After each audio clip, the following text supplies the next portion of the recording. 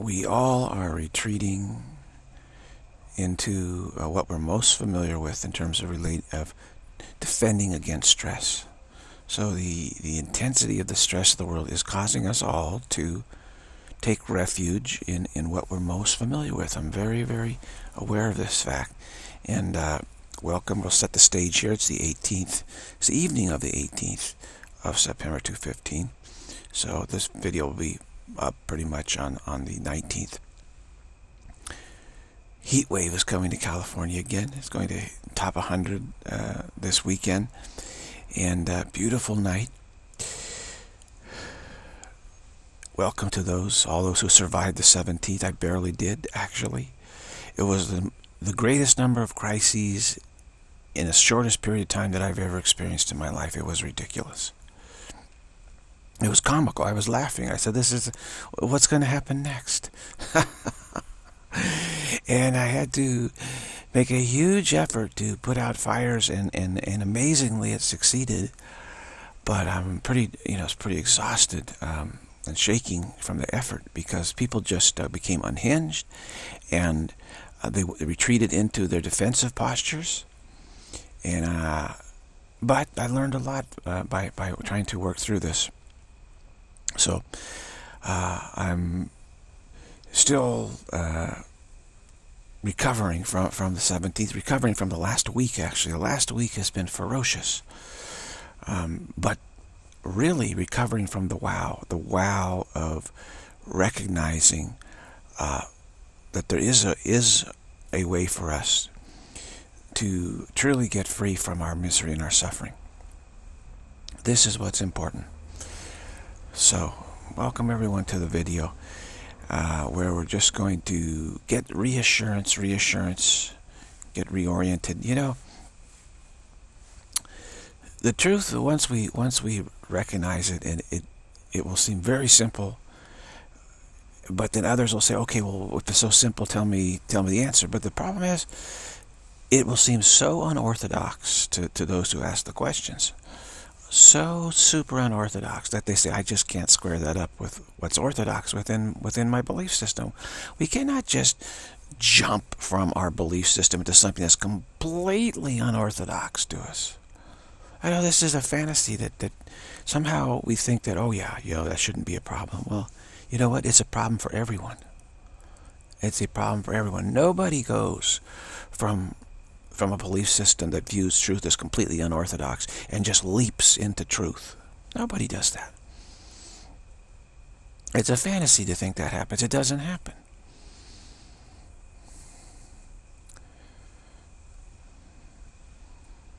The, the only ones that realize truth are the ones that have gradually allowed the continuity fear to evaporate and their belief system to change so so that that truth seems not unorthodox. It seems, oh, this is this is very close to what I believe. It's no, it's not a big stretch at all. And then, so finally, then they ease into it, which is what I'm have been working on and uh, continue to work on. And uh, but the the effort to you know change our belief system that can that can take a, a quite a long time, and quite a lot of effort actually, because most most of us um, our belief systems are completely shaped by our continuity fear and are all about not recognizing we have a continuity fear. So of course we're going to say, oh, well, I should be able to just, if truth is really true, I should just be able to accept it like that. Of course, this is avoiding recognizing that we have a severe continuity fear, which means avoiding what? Repentance, refusing to repent. Repentance means to, to, to turn within and recognize that we have this severe problem. It's the only problem there is, actually, but it's very severe. So, without repentance, there's no salvation, because then you won't work on evaporating your continuity fear, and uh, and so the belief system remains shaped and molded and structured and advised by the continuity fear. And so it, it, makes sure that our belief system is radically, radically different than truth. So that when, when if we catch a glimpse of truth or someone tries to explain it to us, we say, oh, that's crazy. You know, that's completely unorthodox. Here's a great example. This, this is, you know, you got we have to credit everything that's going on because it's so uh, it's so amazing in, in, in a lot of ways. In, and yet it's also very frustrating in a lot of ways. But uh, for example uh, let's use the example of golf. I often like it's a good example for me to, to look at. And I have a lot of uh, infirmities of various types, structural infirmities. I can't, you know, so I have to, my golf swing, I have to, had to change it. Kept changing, changing, changing, changing to avoid getting injured, you know, avoid aggravating an injury, you know. And, and so I ended up having a very unorthodox golf swing. I mean, it, it's been very tough because I say, oh boy, if anyone sees me line, looks at this swing, they say, this guy is a complete idiot. He doesn't even know what he's doing out here no one is, it must be his first time ever ever out here you know because he's not doing an orthodox way my gosh. Well i'll tell you the truth the orthodox way of doing it got caused a lot of these infirmities and injuries. That's the truth. Everyone says well you're supposed to swing like this because jack nicklaus swung like this or whatever you know and no not everybody's different. You have if you get injuries you get you get stuff hurts you, you, you need to, to adjust. So anyway i've had to come up with this extremely unorthodox swing. So I, so I went out there on a, a, golf course. I said, I don't want anyone to see me. You know, I'm to hiding out here. I, am too scared. But but I got paired with this. Um, I got paired with uh, someone. I had to play with someone, and so I said, "Oh my gosh, you know, here they're gonna have to look at this swing." But he's a very very nice man, and uh, he was he's a very good golfer and he says, just uh, take your time, and enjoy. So he didn't put any pressure on me. I said, well, I can look, I can look like an idiot then. It's okay. I, I, he said, well, I'm out here to get off the rust, you know. And, and uh, by the time we finally finished, you know, he, as we were parting ways and saying, you know, thanks for the company and had a lot of fun out here and the niceties, pleasantries and stuff. He said, hey, he said to me, listen, uh, don't change that stance. He says, don't change what you're doing. He says, because it's really, really working good for you. So you, you, you, just stick with it. Keep it. And it's like, wow, that's really extraordinary. I, I, I you know, that was just shocking to me. and so I thank him for that, you know, and uh, because it did work really well. Actually, it started working so good, you know, he was just going, wow, wow, wow, how is it possible that you're having such good results from that crazy stance? And but he had he had the some sort of inner spirit enough to say, hey, don't don't don't change, don't try to change it back to you know to what people think you should do. Just just do what you what you're doing, the way you're doing it. Just stick with it, stick with it. Pretty awesome. So, uh, the same thing with uh, with getting to truth. Actually, is that you will seem to be extremely unorthodox to others even laughably so. You know, 99.9% of the world might just, you know, laugh at you and think, you know, what a complete, you know, neophyte, beginner. What an idiot. You know, he thinks he knows something about spiritual truth, but but he's way off the orthodox path. You know, wow, it's just this, you know, I gotta set this guy straight, you know. And this is the trouble uh, that we, the, the, the struggle that, that we have. You know, truth is very simple, and yet you know, people will think we're just nuts. I mean, some teachers have to say, yeah, yeah, yeah, I, I, I know I seem crazy. And uh, sometimes I, I just can't help it. I'm, I must seem crazy to people. But, you know, what can I do? I can, I can do about it. Um, uh, but it is, it is, seems very unorthodox.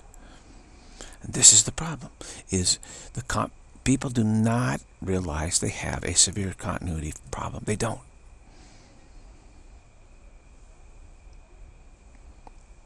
It's that crazy uncle in the basement or something. Ah, you know, yeah, hopefully that uncle is gone. You know, I, I don't know. Afraid to go down there. Uh, you know, so it's like we all have this, this, this, and then even below that, continuity fear is, you know, is is is the truth, and and we and the continuity fears yell, hey, don't, don't come down here, man. It's dangerous down here. It's way too dangerous. Don't even, just forget about it, you know, because the continuity fear is, is our fear of, of, that we stop pretending to be other than what we are. And the fact that, that we still are what we are, even though we're pretending not to be, this is what terrifies us. And this is what our continuity fear says, whoa, whoa, this is terrible. And, and it's, it's trying to tell you, no, no, no, no, there, there, there's, there's, there's, there's nothing, uh, there's no real self at all. That what you're doing, you're pretending is your real self. You're pretending is your real self.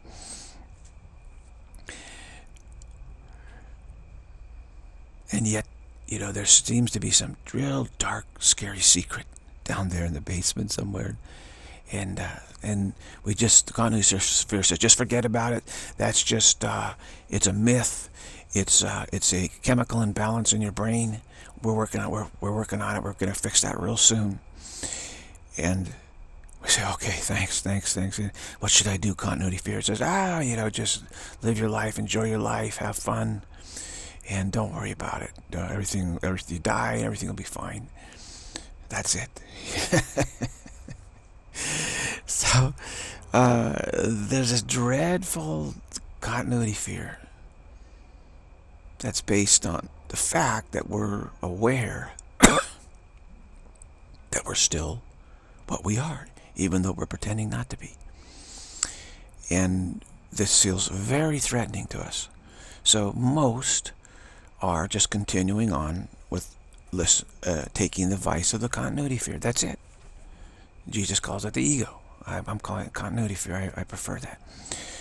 But it's exact, referring to the exact same situation, actually.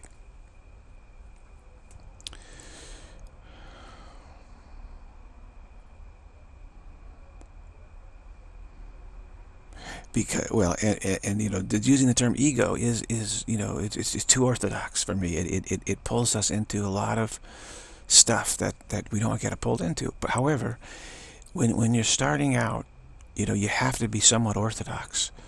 Uh be other, otherwise you, it's too much for you. So Jesus you, started out for instance in a course in miracles he started out pretty orthodox.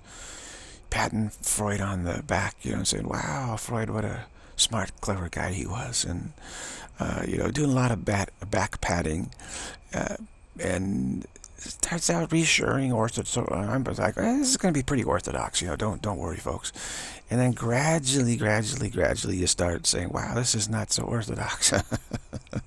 and then ultimately, you know, he's leading you to a completely different belief system that that doesn't fit into the orthodox uh, continuity fear explanation at all, continuity fear belief system at all. They don't align at all. So, of course we have trouble on the path as we are constantly adjusting to a new belief system. And the world is, is just saying, you know, well, that's crazy. It's crazy. It's just completely, you know, well, it's completely unorthodox. That can't work. If that works, uh, you know, others would have done it. Well, others have done it. others have. Of course, the continuity fear ignores that. It loves to ignore. And it likes to promote those who uh, are are spiritual, are talking spirituality, but are not liberated, you know, and not, not truly awake, loves to promote them and say, why don't you be more like them? You see, they're, they're very spiritual. People think they're very spiritual, except they're still, you know, unawake. Still pretty, uh, still trapped by the continuity fear. Still pretending. And it ignores the ones that have been truly liberated. It ignores those, yeah this is the trouble. So I, I have always tried to pay attention to the ones who are truly liberated in my life and said, this is the example we have to follow. And I found that very few I pay attention to them. Even even though there have been there have been some here, absolutely there have been. Way more more than we realize. Because the continuity fear has tried to get us to forget all of them.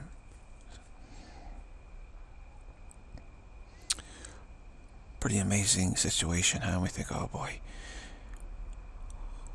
it it's something that that uh, we can evaporate gradually evaporate. It's like water. You just have to to keep shining the sun on the water the heat keep the heat on.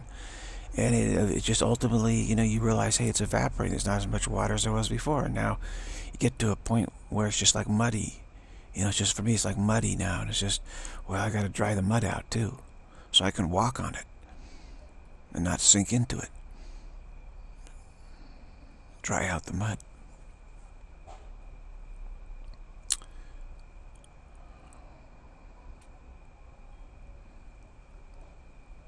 So, uh,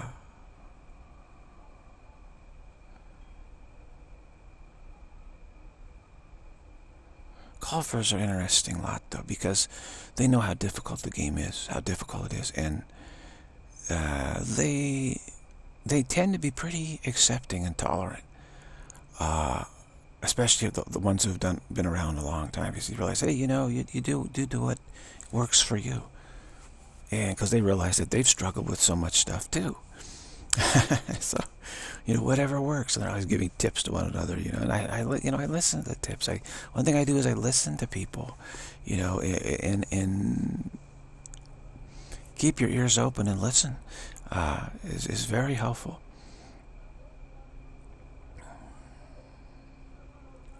It's the Holy Spirit that's talking. Just believe the Holy Spirit that's talking.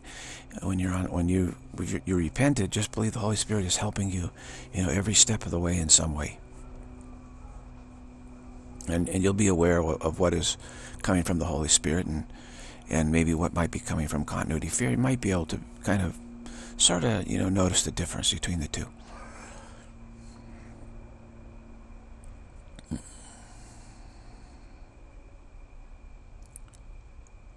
So I started out saying that we're all taking refuge in, uh, from stress, in, in, in what we're most familiar, the most familiar type of defense against stress and, and strife and struggle and pressures, etc. We people go into you know drugs and and they go into attack mode.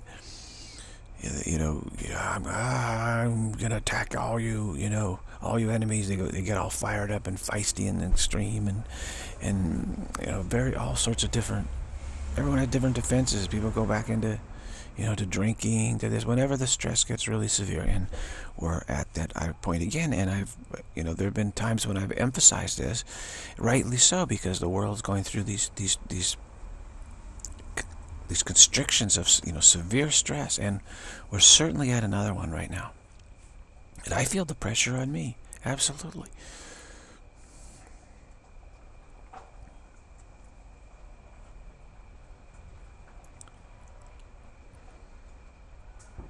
So right now, I wouldn't worry too much if you don't think you're making a lot of progress or something. It may just be that you're you're processing the wow, like wow, I'm standing up to this. Like wow, I really made a lot of progress. Wow, I, am not retreating uh, into into a certain my old ways. Wow. You see, that's a huge wow. We don't understand how much progress we're actually making and how it shocks us because we, we were expecting, oh, I'm going to fall apart. What happened? I didn't fall apart. That's astonishing. And so we feel like shocked, you know, elated and, and with some trepidation. It's like a shock, inner shock. I, did, I didn't fall apart. How's that possible?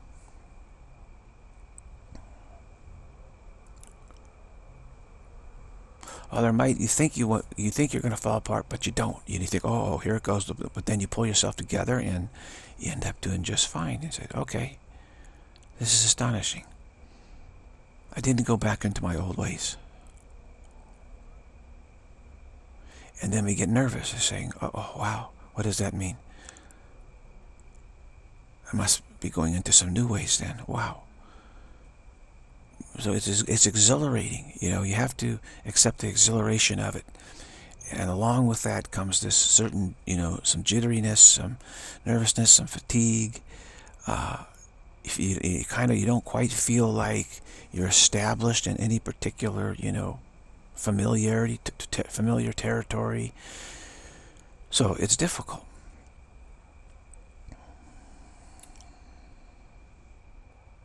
And that's how I feel right now. I'm aware I've made all this progress, and yet it, it hasn't somehow, you know, crystallized just yet. It, it keeps, I keep having these breakthroughs, these huge breakthroughs. And, and today I've been noticing a lot of really, really important recognitions, and I say, okay, wow, wow, wow, this really is going just like the Holy Spirit said it would. Now, the world may not notice anything because everyone's retreating back into their familiar shell, defensive shell, to deal with the stress that's to come. So everyone feels kind of okay. I feel okay. You know, they're saying, um, yeah, I'm, I'm, i feel pretty safe. And, and this, I'm going, I see this No, Everyone seems to be pretty safe. And yet, here's someone who's, you know, back drinking. You know, here's someone back taking drugs. You know, here's someone back uh, in their defensive postures. Here's someone. So they're so they're going back into what's most familiar, what feels safest for them right now. They're retreating into, you know, taking refuge in what seems to be safest for them.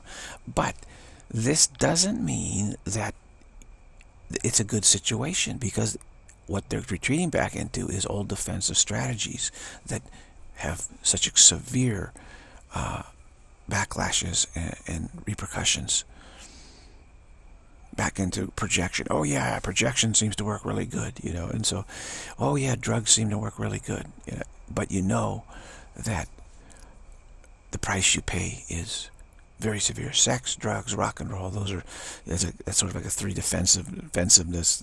What's a way of saying going back into defensiveness? You know, retreating back into uh, those type of syndromes and many you know other syndromes of, of egoic projection, continuity fear projection. I'm not threatened. The threat's out there, not in within me. You know, the spirit's not within me. That is that that which is threatening my pretension, because spirit has the power to end pretension, and we feel without pretension we wouldn't exist. So we feel very threatened within. We project it without. See people, all those people are terrible, and I need to be protected from them. So we go through this period where, where people seem to be okay, like, oh yeah, everything's fine. I've noticed this in the world quite a few times. I, the Holy Spirit told me that, that, that we're going through this you know, disastrous pressure in the world years ago. And I, I went out and I looked at everybody. I was walking around. Everybody seemed so happy. I said, wow, what's, what's wrong with me? Why am I thinking this way? Well, what they were doing was they were retreating back into their, you know, the old entrenched continuity fear beliefs. And so it seemed as though you know, you know, they're there, you know, romance, nice food. Just, I'm just enjoying life, you know. I'm just enjoying life, that kind of thing. Because this is defensive posturing. I'm, I'm working on my status. And so mentally, their mental health was actually getting worse. Even though on the surface, it seemed like they're happy. Because, oh yeah, I'm, I'm, I'm, fine. I'm back in the arms of drugs. Isn't that wonderful, you know? I, feel I feel like an old friend. I, I'm with an old friend again, you know, that kind of thing. It's familiarity. So the urgency of the Holy Spirit is, has been to make spiritual practice your friend. So you retreat into spiritual practice, right? Spiritual practice. Consideration, contemplation, listening. As I say, uh, assertions, full stop in the wow, and flipping the script. It's very easy to, to see where you're at in practicing. You're either working on flipping the script as you're going over in your mind and you're being, uh, a moment.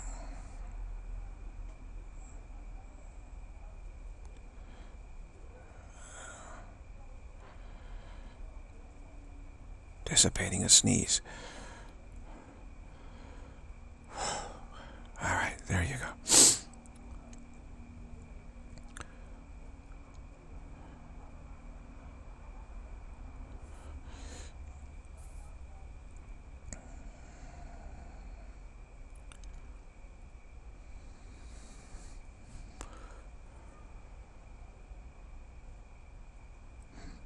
So we, Holy Spirit wants, tells us, you know, practice, practice, keep practicing. Why?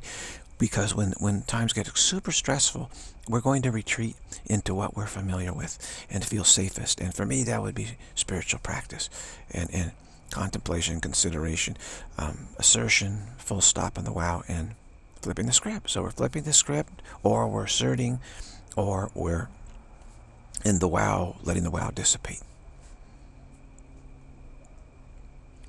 So that's where I, I take refuge. And this is this is you know this is key. So the Holy Spirit knows ahead of time. He knows you know the stress is coming on the world and says you got to keep every day just make it your what you're most familiar with. So this is why I've done all these videos is to help familiarity. You know, and and unfortunately, you know, not many get it that they have to build in familiarity so there's a comfort zone. And it seems oh this is like a it's like a sofa you know leather sofa or something. You, you sit down you say oh you've sitting there you sit down you've sat there thousands and thousands and thousands of times you know and so you sit down oh you put your arm on the armrest you know and just like lean back and it's just like ah this old leather so this leather sofa just feels so comfortable and so familiar. This is just great. It's like that. It's sitting back in what you feel the most comfortable seat you have. Everybody's going to their most comfortable seat that that they're used to. During these times of a, a severe stress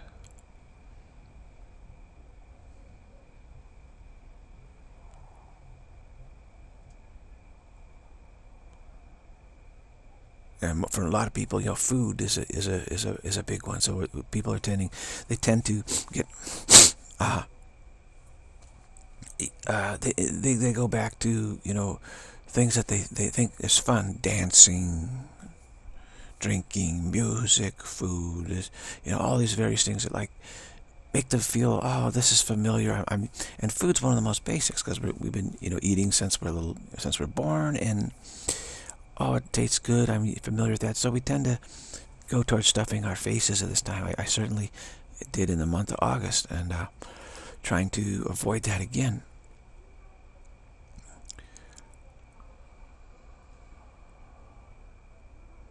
Because the pressure in the world is just hammering everybody. And again, we said it, it, we're told in scripture as in the days of Noah so shall be. In those days people are drinking dancing marrying you know do all the stuff that they feel you know this, this is this is uh, what humans do. This is what makes us feel human. This is so people are trying to take refuge in feeling human you know. Feeling feeling human. Yeah. You switched the mail gave me all Diana's so I, I came in and switched it back again. Sorry. Yeah Okay. They uh so they're doing they're doing what makes them feel human. This is this is important. Of course, we're not human. There's no such thing. It's a it's a pretending. We're no more human than if uh, you know I pretend to be a uh, what a stone right now. So what are you doing? I'm pretending to be a stone. You know. I'm a stone. I'm not moving. We're no more human than, than, than we, we are a stone. uh, so going back to feeling human is this extreme defensive posture, extreme defensive posturing. And yet this is what most are doing. And, and, so everyone thinks, oh, there's nothing wrong with the world. Look, look how people, they're so into being human. Isn't that wonderful? no, it's not. It's terrible. It's absolutely terrible.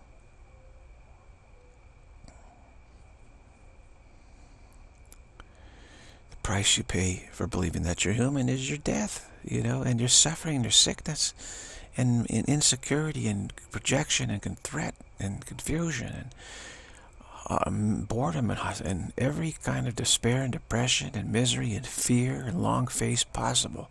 That's the price you pay for believing that you're human for to take that defensive posturing. Oh yeah, I'm I'm, I'm human. I, I want to feel like I'm a human. So, of course, you go around. Everybody's busy, very busy, trying to reassure themselves and feel human. I'm more human. I got to feel more human.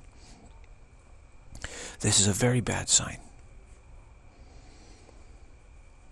The world takes it as a good sign, but this is a certain certain sign that things are very bad indeed. Now, you know, what happens when a ship is sinking? Well, the rats desert the ship, right? The rats, because they're down in the in the lower hold area. So the water gets them to them first, right? And they say, "Oh my, you know, the water. This isn't good. Let's get out of here." And they they try to get get out of the ship, you know. Uh, so what happens in an area of the world where people feel that they're they're in danger, where it's going to be a battlefield? What do you do? You get off the battlefield. You flee the battlefield. That's what you do. What's happening in the in in the the you know part of the world, uh, the east mid eastern part of the world, and uh, people are fleeing. People are fleeing, fleeing, fleeing, fleeing, fleeing, fleeing, fleeing. They're calling them migrants. They're not migrants. They're refugees. the, the, term migrant is hilarious. Uh, this is why I'm not. I, I don't want to watch the news. I, I uh,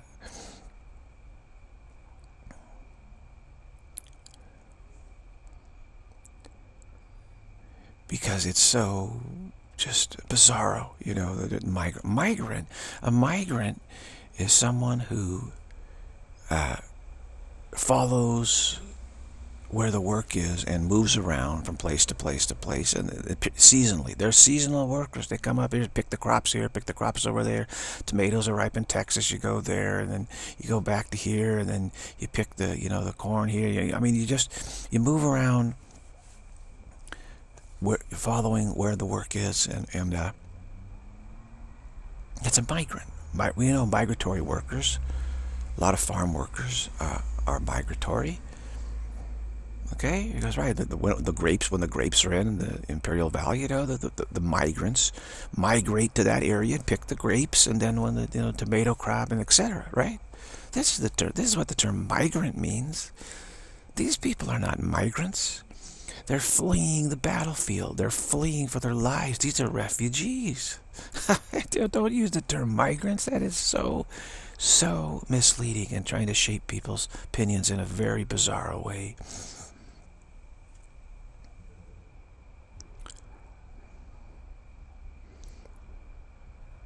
So, but people, like rats deserting a sinking ship, people are fleeing what they feel is going to be a battlefield.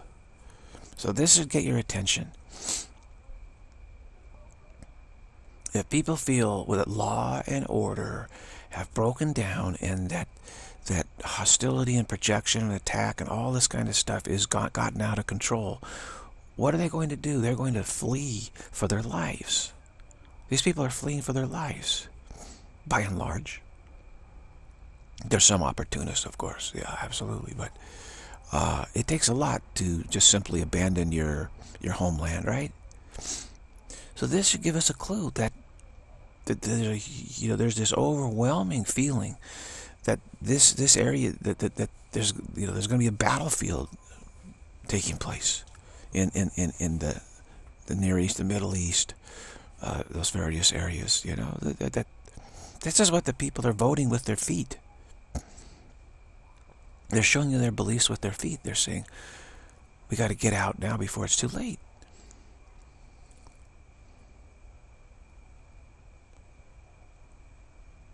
This is, uh, you know, pretty strong warning. So this is a very, it's like sounding a, a, an alarm, you know, alarm for the world. Well, this is very stressful. So what do people do? They go back trying to, what they're most familiar with, say, oh yeah, I'm going to go back to trying to feel human. I think that's a good defense against threat. Because ultimately we view threat as our own true self. That's what we we feel really threatens us and we, we feel that pretending to be human is, is what protects us from this threat. So when we get really, feel really terrible amount of threat in the world, we go back to our basic def defensive posture. We need to be more humane, more human, more human, more human, more human. Want, how do we feel more human? And then we turn to our leaders, those who will lead us into feeling, into feeling better about being human. And this is, brings us to September 23rd, where the two lead, most powerful leaders of the world, the two greatest humanists of the world, the, the Pope and the, and, the, and the President of the United States, the POTUS, are going to have this huge, huge meeting of minds. Meeting, you know, like, hey, I like you just like me. Oh yeah, I like you too because you're just like me too. It's amazing because we both are dedicated to helping people feel more human. And therefore, we're going to make them happy. And we're going to save them from, from their stress, etc., etc. But we don't realize that we're just, when doing this, we're kicking the can down the road and making it worse in the future. We're paving, paving a road into a future where all the terrible bad habits of, of, of defensiveness, you know, are rotting within us and going to cause us even worse troubles.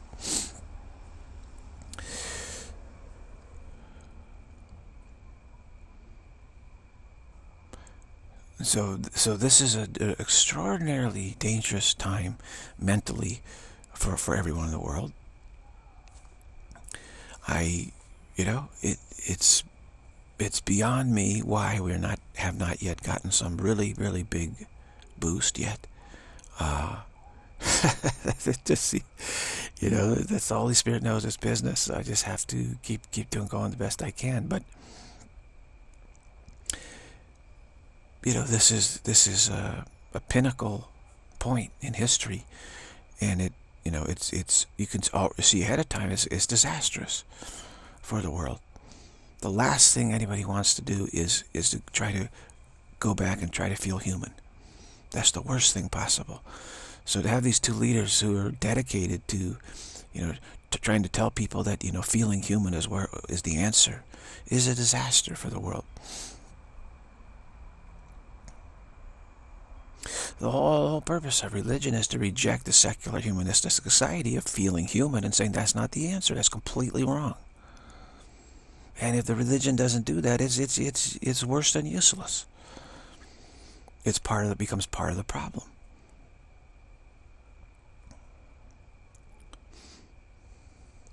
It's religion supposed to, to, to guide us in the path that solves the problem for us.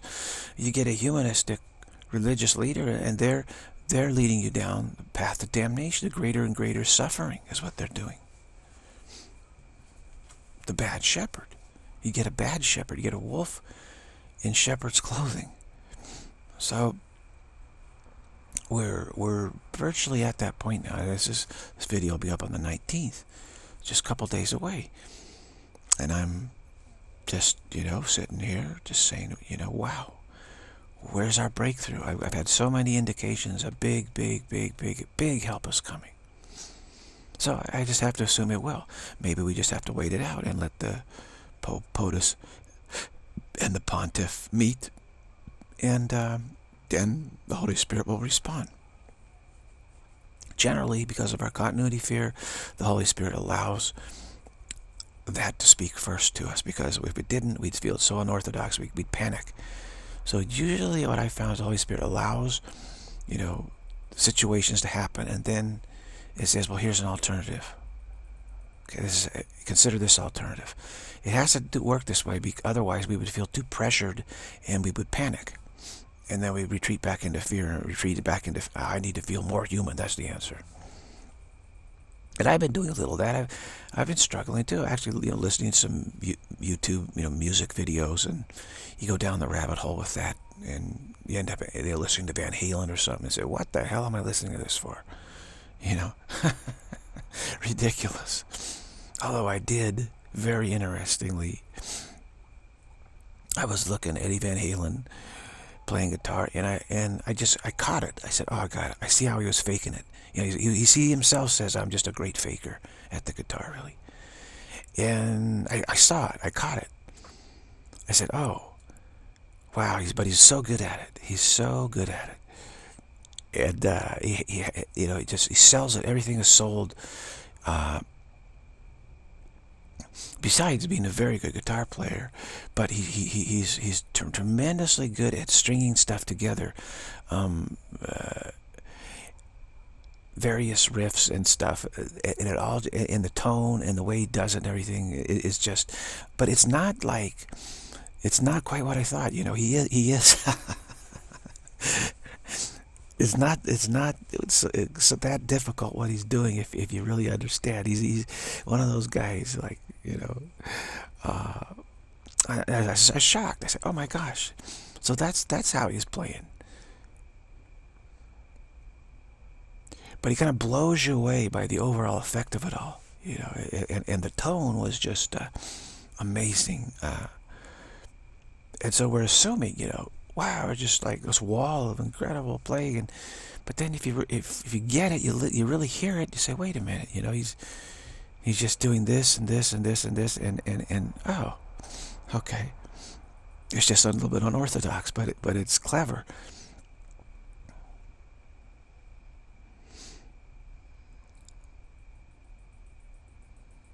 Learning how, how to use open notes and, and there's all sorts of little clever tricks and, and he was really really good at those. So that was pretty funny to, to see that. But I don't want to you know this is retreating you know in, in retreating. I said wow what am I doing? I've been doing it several nights. I've been listening to just a few you know, music videos. And I said what am I doing? This, is, this, isn't, this isn't what I really want to do. It just shows you the pressure where you retreat into what you're most familiar with. For me would you know be music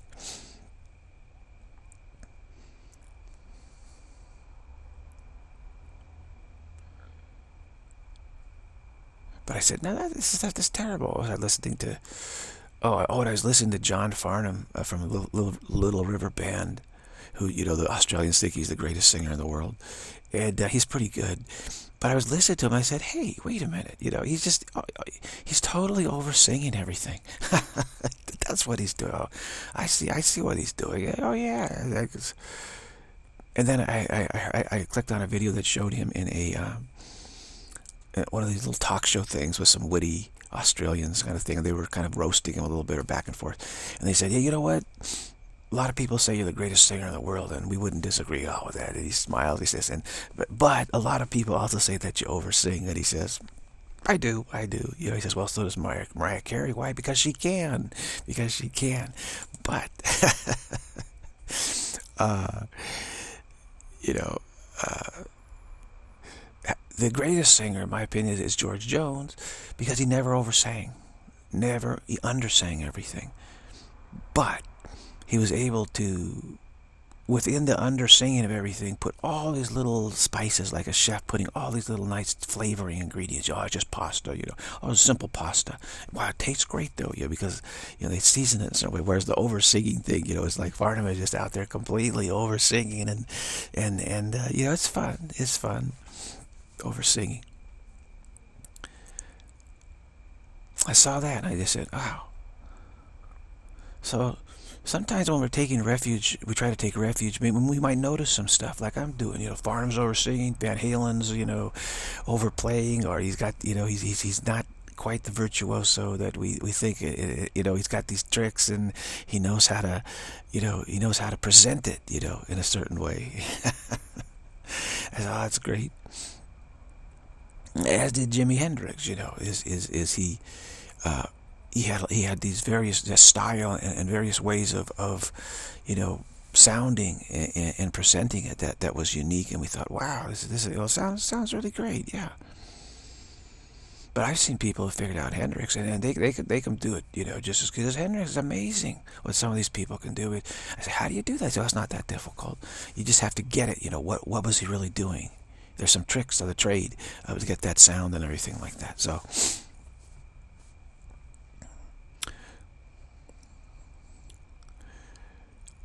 And so we might see, that as we're retreating into our defenses, we might see, hey, wait a minute. This isn't such a great retreat. You know, this isn't that, that you know, I mean, Van Halen's not really, you know, I can see what he's doing. Farnham is singing, I can see that. And, ah, wow, maybe this isn't such a great, you know, hiding place after all.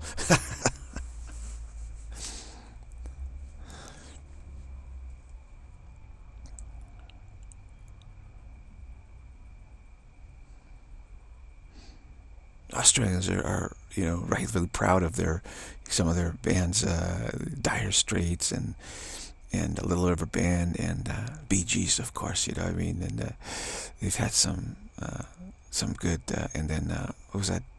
The Seekers, the singer from the Seekers, um, really good singer. You know, they, they they say, "Wow, this is great. Look what we look at what what Oz can do." You know, yeah.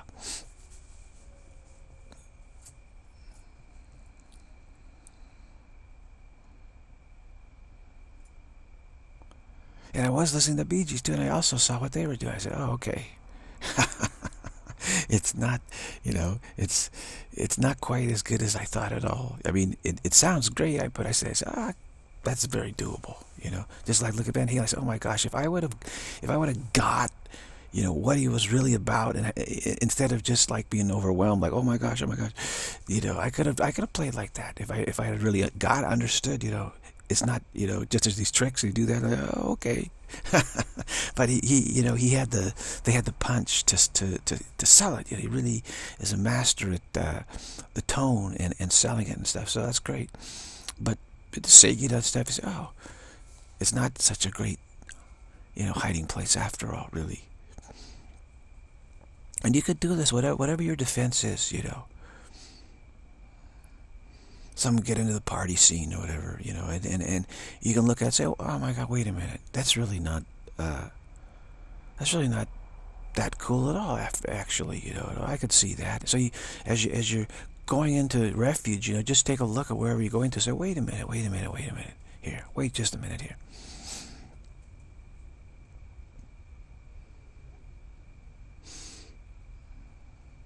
Uh, for instance, like Blondie. I mean, look at the, what are the best bands? I'm just going to use music. A lot of people take refuge in music. Okay, so I'm just using this as an example. Sex, drugs, and rock and roll. A lot of people take refuge in sex. A lot, a lot of them in drugs. A lot of them in music. Okay, that kind of thing. Some, you know, all three. And this is just an example. It's kind of a broad way of speaking. What, what's the best band like of the, of the 60s? Well, you know, you, a lot of people say this and this and this, but you got to give it to the Beatles. You got to give it to the Beatles. You know, really, no, you know, it's, it's, it's, you know, it's not the Stones or the Beach Boys or the Supremes or whatever. It's, it's, it's the Beatles. I mean, come on. They, they were, they were quite something. And then, you know, like the 70s, I don't know, who's the, what's the best band of the 70s? Anyone you know? Uh, I'm not sure. Bee Gees, uh, no, Bee Gees came later, right? I mean, their their their uh, big hits came later. I don't know what's the best band in the '70s. Interesting. Huh. The Eagles, maybe. Uh, was that were they the '70s? Was, was the that may have been may have been the Eagles actually, right? I think that was pretty big in the '70s. They were awfully good. Um, 80s, you know, maybe you're getting to the Bee Gees or something. But uh, uh for me, well, maybe you can say the Bee Gees if the, if the 80s. Anyway, you can look at the, you know, what what are the, like, that's an interesting question. I always like Blondie from, from they didn't last that long. But they, they were like, uh, you know, just, they kind of, you know, had this sound of, of, of punk pop or something, you know, they, they come out of New York and, uh, that fabulous. They still sound fabulous. Go back there and listen to the Blondie. Just like their their hits are just like incredibly, you know, they stand up. But I was looking at Blondie videos and I said, you know, first of all, that they show them on American Bandstand or Midnight Special, or I mean, back then it's probably Midnight Special. It's A, well, of course they're lip syncing. You know, we didn't know this at the time, but they're lip syncing. The, the, the full studio version of the song is playing, and up there, and I think, wow, what a great band. You know, Clem Burke, that's the drummer. He's like, uh, he's a fabulous drummer. I mean, the whole band was the sound, the songs, Deborah Harry fronting it. You know, it was just like ultra glam, punk glam, uh, artsy cool. You know, pop. It's just this whole fusion of all these different styles. It was just so, so, so impressive. But when when when you, they're playing just live, you actually hear them. They're not that good. Deborah Harry's not that good. She's not, you know, she's not that cool. It's probably the the queen of cool. Um, but they're sort of like actually, it's like they're really not that cool. you, know, back then Blondie was really really cool. Yeah, and and now see it's like, well, yeah, I mean they're, but they're not that cool. You really have to to suspend a lot of disbelief to to think that.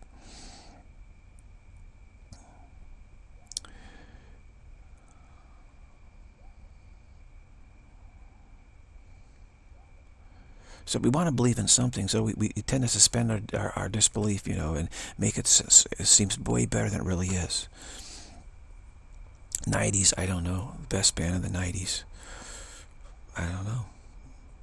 I'm sure somebody knows. 50s. I don't know. Who's the best? What was the best act in the film? Well, Elvis, of course. Yeah. Elvis was the was the 50s. Beatles was the 60s. Um, although I don't know in the 50s people would say other stuff too, but uh, actually Elvis may have been come along. Well, he came back in the 50s. Yeah, I think so. It was a big deal, really big deal.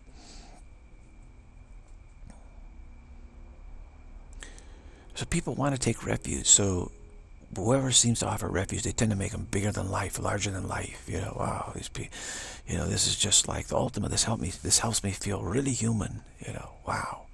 Yeah, I just feel like being human is so cool. You know, you look at Blondie, they're so cool. You know, now you look at them now. You know, and, you know, and and and uh, in interviews, and they're they're not so cool anymore. They they they still think they're exuding cool, but I mean, when Blondie came to England, they were huge. I mean, just mob scenes. You know, they were they were really really hot, hot at that time because they gave this feeling to people like, you know what, it's cool to be human. Being human can be very cool.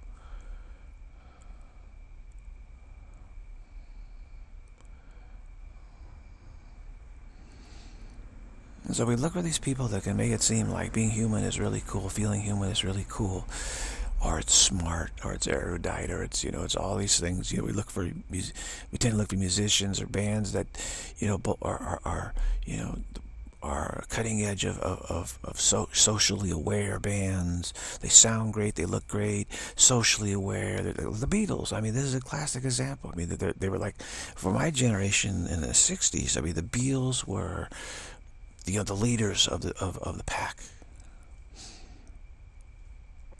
absolutely this generation, you know, growing up as we, you know, we were prime time, it the absolute prime time for the Beatles in terms of being interested in young person interested in music. And people look, I mean, they got these all these magazines and and and you know, I can't remember the name of the magazine. There's so many of them, and and they just go through them like a Bible, like like a scripture. This this was their Bible. This was their guidebook to life. What what did Paul say? You know, who does Paul like? Oh, you know, who's this? I mean, the girls, especially the girls, were absolutely crazy about the Beatles. And the Beatles, and, and, but the guys also because the Beatles got more experimental and you know got more artsy, and they said, oh, they're profound. They're so profound. And so like every last thing, every photograph, every lyric, everything they did was scrutinized for like huge metaphysical meaning. I mean, this is it's hard to fathom. If you didn't go through it, it's hard to fathom, but I can tell you what it was like. And, and, and you know, if Paul's like wearing different clothing, you know, than someone else, oh, Paul's dead. Because everyone, so many people thought that Paul died in an accident. And someone, they had a double go in there, Faul, F-A-U-L because he's on Abbey Road and he's he's in a white suit with they dress the dead in in white, you know, and and they they, they look for sim, sim, symbolism everywhere under every bush. There's a beetle symbol there that's going to, you know, give you the meaning of life. They were sure, we were sure, most of us, most people that were so sure the Beatles are going to give us, tell us what the meaning of life is all about and help us take refuge from our stress, no question about it. Now, I didn't I didn't get go into that actually. I said, no, no, no, that's that's not it. That's not it. But this was an overwhelming feeling. It was just amazing. And of course the Beatles were just like, what the heck's going on? You know, everything I do, they, they everyone thinks I'm giving secret messages to, them, to them. And they started playing the records backwards. And they, they insisted that the Beatles coded a bunch of, you know, super uh, important information when you when you put the make the record go backwards, you know, that you'll you'll hear the coded information. They think that that's what you know they're doing. They because they couldn't say what they really wanted to say to the world because the world wasn't ready for it. You know, the, the, the authority, the man, you know, would, would not have allowed the Beatles to do this. So the Beatles said, okay, no problem. We're going to go in the studio and we're going to record this, you know, beautiful song, you know, whatever. And, uh, all you need is love or something. But then when you do it back, run the tape backwards, it's going to have this very complex message which will deliver the true message that the Beatles really wanted to deliver because they're like our savior, the saviors of the world. This is this is what was going on, more than you realize. It wasn't just a couple of odd people. One, you know, it's like it's like the, you know, stuff goes viral now today on social media. Back then, stuff went viral too. and some guys figured out, hey, wait a minute, the Beatles are coding messages, eh, eh, eh, sub, you know, not subliminal, but coding. If you look at this, listen to it backwards, you'll hear the, hear the real message that they're trying to get through to us. And people were like, oh my gosh, this is this is it. This is what we thought. This is what we waited for. We knew there was some secret. We knew they had the answer. We knew, you know, and and you know, now we're going to find it. And uh, And it went on and on and on and on and on with the Beatles. You cannot believe it. The, the, we thought that they they were our saviors, plain and simple. And they had the answer. Of course, we didn't realize they're all whacked down on drugs, uh, and and that's why they seem kind of you know kind of different. But we thought, oh no, they're they're they're eccentric because they're trying to get this message through to us, you know, and and they're struggling with it and. and it of course the Beatles say, what are these crazy idiots talking about? George Harrison comes to Haight-Ashbury in 1967 and looks around and says, well, look at these crazy, whacked out people. I'm, I'm stopping acid period. Are you kidding me? That's enough of that. You know, I don't want to be like that. and and uh, you know, everyone's taking. Oh yeah, George is George is here in Haight-Ashbury. He's like uh, giving a benediction to the to everyone here. He's he's saying, "This is yeah, people. This is what you need to be doing." You know, and and then everyone said, "Oh well, if George George Harrison said it, this is it, this is it," you know, this is where it's at. Of course, he you know he didn't say I'm stopping acid because he never really you know was admitting didn't want to really admit it at the time. I think that he ever was taking on it all the time, or not all the time, but you know doing a lot of it. The Beatles did a ton of drugs actually, and so everybody's assuming that you know whatever the Beatles say is gospel. So this was like an ex uh, one of the most extreme examples of people taking refuge in music world's ever seen. Maybe the most extreme example. I don't know. I don't know anything that comes close, actually. The, the Beatles were, were gods. They really were gods. I mean, like when John Lennon died, this this was this was like an extremely traumatic time for my generation. It is unthinkable. It's unthinkable. But you know, if you if you name ask my generation, name the four most people important people in the world, I say John, Paul, George, and Ringo for sure. what do you mean? Who's the, these these are the guys that are they're here to come came here to save us. Everybody else is a bunch of corporate shills, but these oh the Beatles they're gonna they're going to lead us to Nirvana.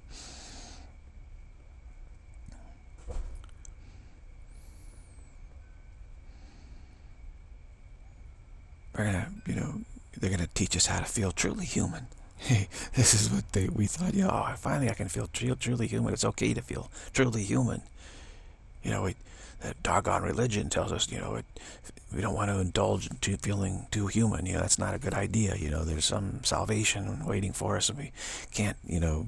But the Beatles saying, no, no, no, no. You know, why don't we do it in the road? You know, come on, let's be more human, folks. Let's let's let's let's get into humanness, and ultimately, let's get into drugs, and let's get into all this rabbit hole stuff. Tavistock stuff. Uh, you know, which is, is the psychoanalysts basically. Keep in mind that the psychoanalytical movement, which basically came out of, you know, it came out of Europe, came out of Germany, basically. Uh, I was super, super up on all that uh, when I was young. Um, and, you know, I read all the great psychoanalytic literature and, and, and, and books and teachings and, you know, you, you name it. I mean, R.D. Laing was part of the Tavistock Institute. You know, he's, he was an unorthodox psychiatrist. Schizophrenia is a positive thing. You know, it's a, a okay, so he had a different outlook towards it. And uh, Adler and uh, there's so Karen Horney and um, Jung and Freud and, and Reich, and but it goes on and on and on. There's so many of them. The big, big German psychoanalysts, you know, they were so powerful. They were so powerful. They were so powerful. I mean, uh, keep in mind that Germany was like a astonishing country to the rest of the world um, in the late 19th and, and, and going through the 20th, or, you know, first part of the 20th century, half of the 20th century. They were way more advanced than the rest of the world. Chemistry, I mean, the Germans are just awesome in chemistry. All these scientific development and stuff, they, they, they just, you know, were, were, went way ahead of the rest of the world. And so, you know, here comes these psycho, you know, the Freudian school of psychoanalysis, and, and they said we have the answer to to your human problems, the problem of being human. Why we humans have so much problem? Well, you know, well we have we have neuroses, you know, and and but you, you, we have a cure, talking cure, you know, come in and you go to the psycho, go through psychoanalysis and you, you become comfortable with who you are. You realize I'm a human being with neuroses and I accept it. And this is, you know, and, and so this, this was gospel. This was gospel. And so this got into the entire corporate structure of the whole planet. The corporations said, oh, finally we have a way to help our workers um, adapt to their hideous life and, you know, thrive. And, and, so corporations are always looking for a way to make more profits. And psychoanalysis sold itself to global corporations as we have the answer to more profits for you because less absenteeism, less mental illness, less break than this, and we can we and especially the management.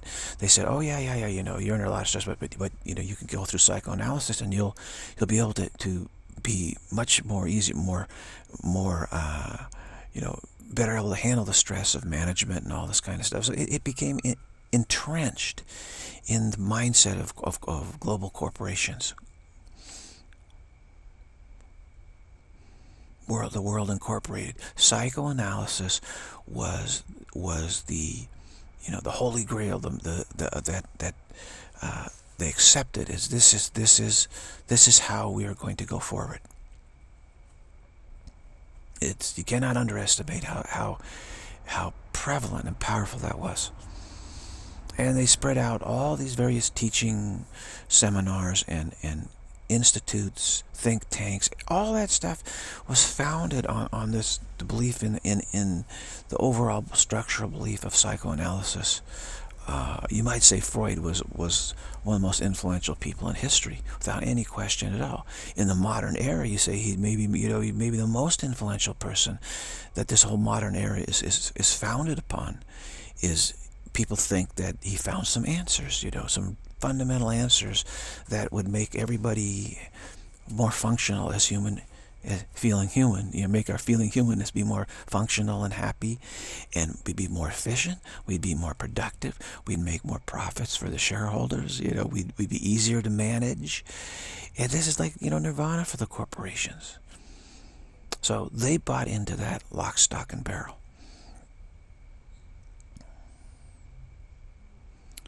Very important to realize this. Which is why, of course, in Miracles, you know, has to kind of buddy-buddy up to it. It starts out and says, yeah, yeah, that stuff's great, you know, but, you know, uh, but still, you know, Freud had uh, a lot of issues.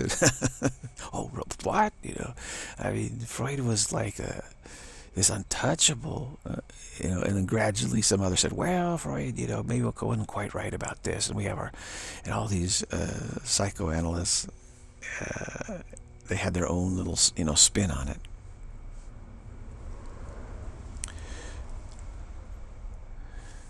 And we we need to we need to know this because we don't we don't quite realize the fact that corporations and governments and bureaucracies they do have their own that they do have these tools that they believe in and they believe in them very strongly and they are using these tools. I mean, you know, upper level management and the CEOs, they go to seminars, they go to training seminars, they go to, they have a great many uh, avenues that are influencing them, and they can go, that are telling them, this is how you manage people. This is how you manage people. This is how you control people. This is how you manage people.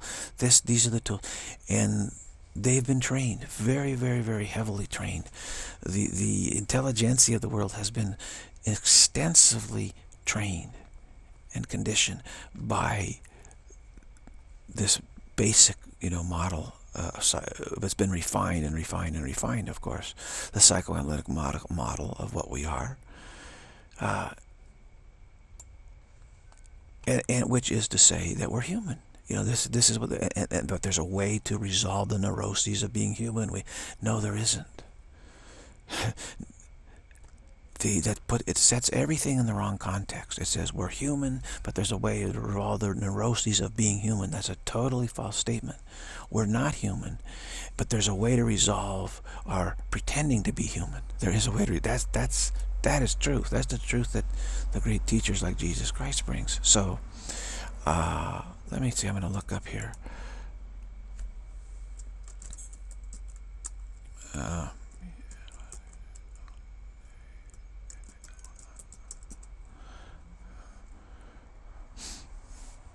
So they, they have it completely backwards. The whole psychoanalytic movement had it totally backwards. Um, yeah, okay, famous. I'm going to look. Oh, here we go. Sigmund Freud, Anna Freud. Okay. Jacques Lacan. Okay, I'm not as familiar with Jacques Lacan. Uh, I don't know if a lot are. Erich Fromm, absolutely. Carl Jung. Look at that face. My gosh. uh, Ferenczi, uh, Ferenczi, Karl Abraham, Abraham, Abraham, Karl Abraham, Melanie Klein, yeah, yeah. Oh, right, Frieda Fromm-Reichmann. Gotta have the ladies in there. Alfred, Alfred Adler, yes. Erik Erikson, there you go. Harry Stack Sullivan, Karen Horney. David Winnicott. I'm not as familiar with David Winnicott. Will Wilhelm Reich. Ronald Fairbairn, not so sure about him. Otto Rank, there you go, Otto Rank. Heinz Kohut, not so much. Nancy uh, Chodorow, Chorodo.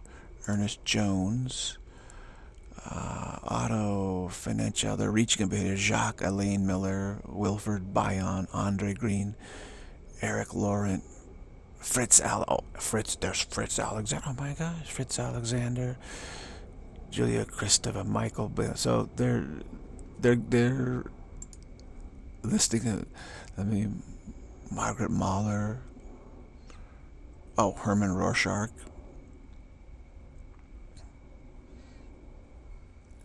Stekel anyway you got the whole you got the whole cast of characters here Oh my gosh, this is interesting. They don't have Alexander Lowen there. Alexander Lowen was huge. And uh, you also have the, uh, don't have the, uh, it's all sorts of different schools. You know, they're, they're trying to be very intelligent here. And a list of psychoanalytic theorists. Yeah. Wow. Alfred Adler, proponent of individual psychology, Karl Abraham, psychoanalyst, Fritz Alexander, psychoanalyst, a lot of, uh, look at this huge list of all these. There's R.D. Laing. Uh, let me see if they have, those Alexander Lowen, psychoanalyst and psychiatrist. He was a very big, Alexander Lowen. Um, yeah. So yeah, you go on uh, uh, Wikipedia and look at this, a list of psychoanalytic political theorists. And uh, you get the whole, you get so, a lot of them there. So these people are the are, are the, um, hierarchy uh, uh of orthodox uh, belief on the planet. These are the people that, that founded the Church of Psychoanal Psychoanalytic Theory. Okay? Just like Christianity has their founders and apostles and early bishops. These are the people that founded the Church of Psychoanalytic Theory. And Psychoanalytic Theory is actually what corporations believe in. Okay? Now, they've, they've added a lot of uh, behavioralism in that okay, uh, is a mixture of, you know, various stimulus response behavioralism and things like that. Uh, one moment, please.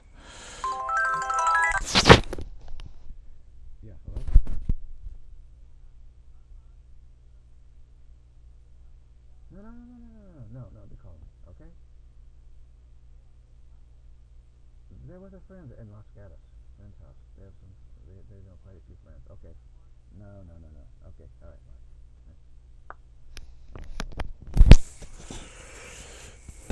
Mark. Okay. So the corporations, the global bureaucracy, the, the New World Order is founded on psychoanalytic theory uh, and mixed with behavioralism and you know some other technology stuff. But but ultimately they, they believe that there's a way you know for us to be happy as humans, believing we're humans, that, that feeling human is where it's at.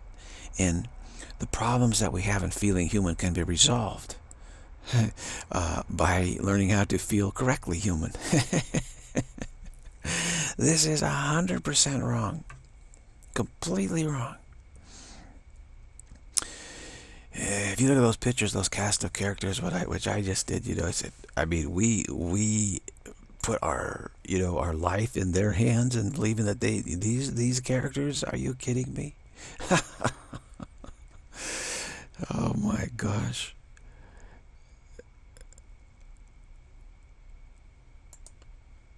terrifying. Absolutely terrifying. These people were, um, you know, they were they were on a fishing expedition, and you know they they were trying their best. You know, this is not not to. You know, just like you know, they they they were trying to find out, you know, what what what what. But I wonder how many of these, you know, really listen to the Holy Spirit. What were they listening to? The continuity fear. The continuity fear told them, hey, you want to know how to be happy? No problem. I'll tell you how to be happy. But you have to listen real closely to me and, you know, and really follow what I have to say. So they said, oh, okay. And, and then, uh, you know, I mean, Freud, Freud did some good things, sure. And they, you know, there was, there's a little bit scratching the surface a little bit. But they listen to continuity fear, and the continuity fear says this is this, and they go this way. And of course, then they all these theories, it gets all complicated and everything, because of course the continuity fear just lead them on a wild goose chase, basically, wild goose chase.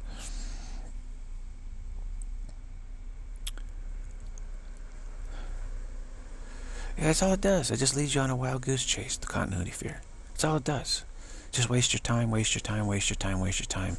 And then basically says, well, when you're dead, hopefully you won't bother me anymore.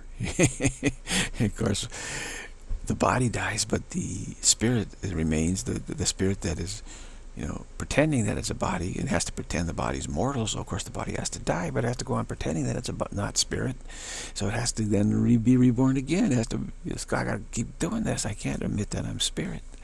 I can't stop pretending, or I'm afraid I'll don't know how to function. I won't exist. So we have this global new world order which is about to be officially, you know, inaugurated by the president of the POTUF. The symbolism of that meeting is is is says everything, and uh, it's it's based on a totally false foundation. Totally false. Totally false. I'm saying it here before they, they even meet. It's based on a completely, totally false foundation.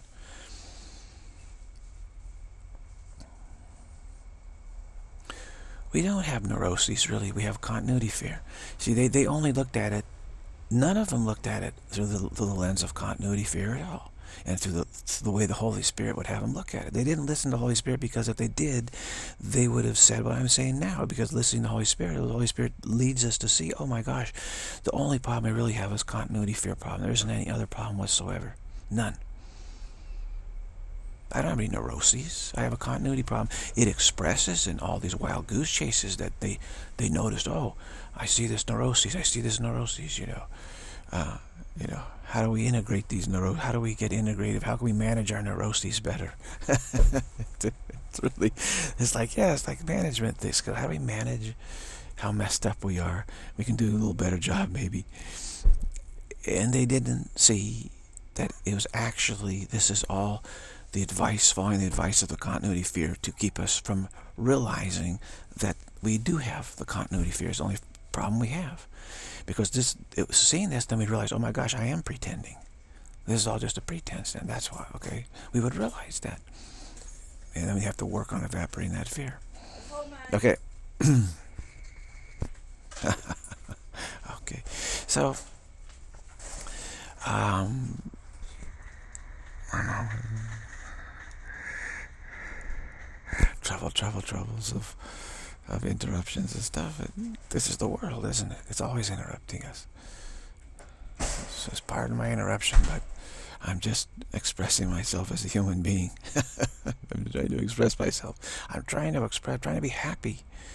You know, it's like I'll say, well, you're trying too hard to be happy. You know, just lower your expectations and you'll be a lot more satisfied.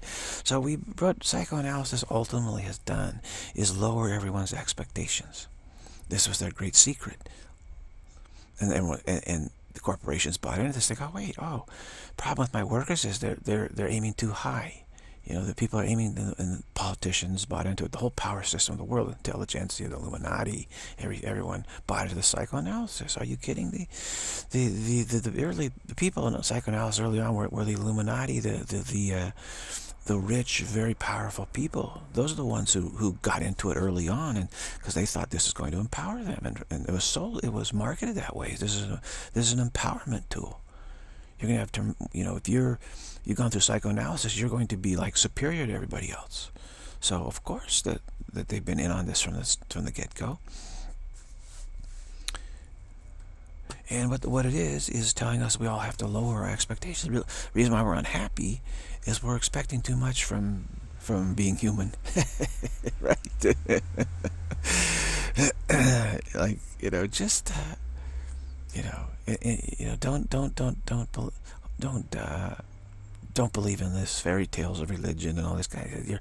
This is what's messing you up. Psychoanalysis. This messes you up because you're you get this idea that you're entitled to to some to more than you really are, you know, and and you you you have some status that you don't really have. You really you just have some you know pretty basic primitive animal human being status with a little bit uh, added on you know but don't don't think that you're anything so great really and uh, lower the bar and then you won't be so neurotic chasing after too much you know success and fulfillment and all this kind of stuff. And you know if you're lacking fulfillment well you know you go to the go have some therapy where you stretch and hit a pillow and and learn how to you know learn how to um, submerge yourself in the group and, and, and lower your expectations for yourself and then you'll feel a lot better adjusted to be better adjusted to being human you know I mean you got this sort of crazy neurosis of thinking that you're some kind of spiritual being or something but really that those are just kind of archetypal uh, things that emerge you know and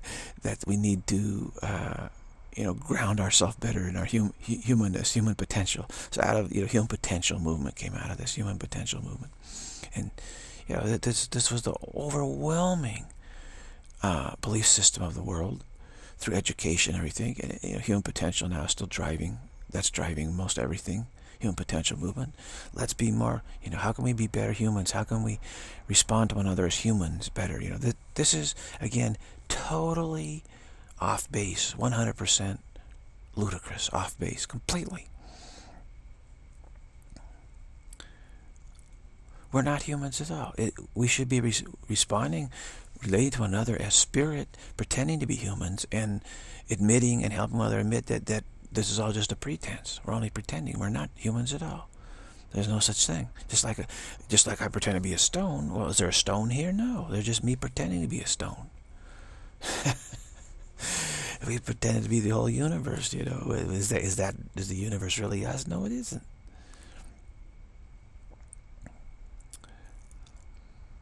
So spirit is just pretending. So the way to relate is is, is on this premise. So the the new world order is is just uh, bad news every which way you look at it. Actually.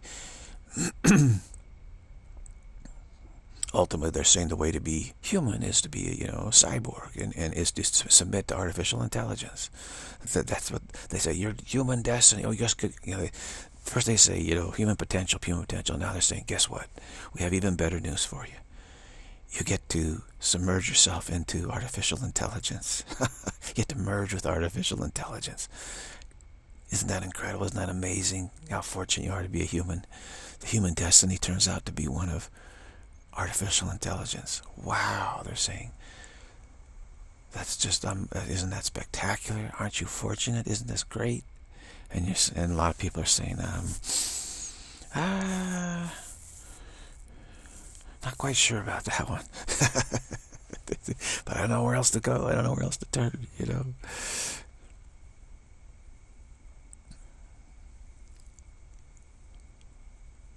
They don't know where else to turn. You know, they've been told religion's and bunk. You know, by these idiots that are, you know, trying to, you know, got so much continuity fear that they, the, the, the very notion there might, that we might be pretending, you know, hinting, hint, hint, hint, hint, is, you know, so terrifying to them that they uh, have to, you know, hide under a rock.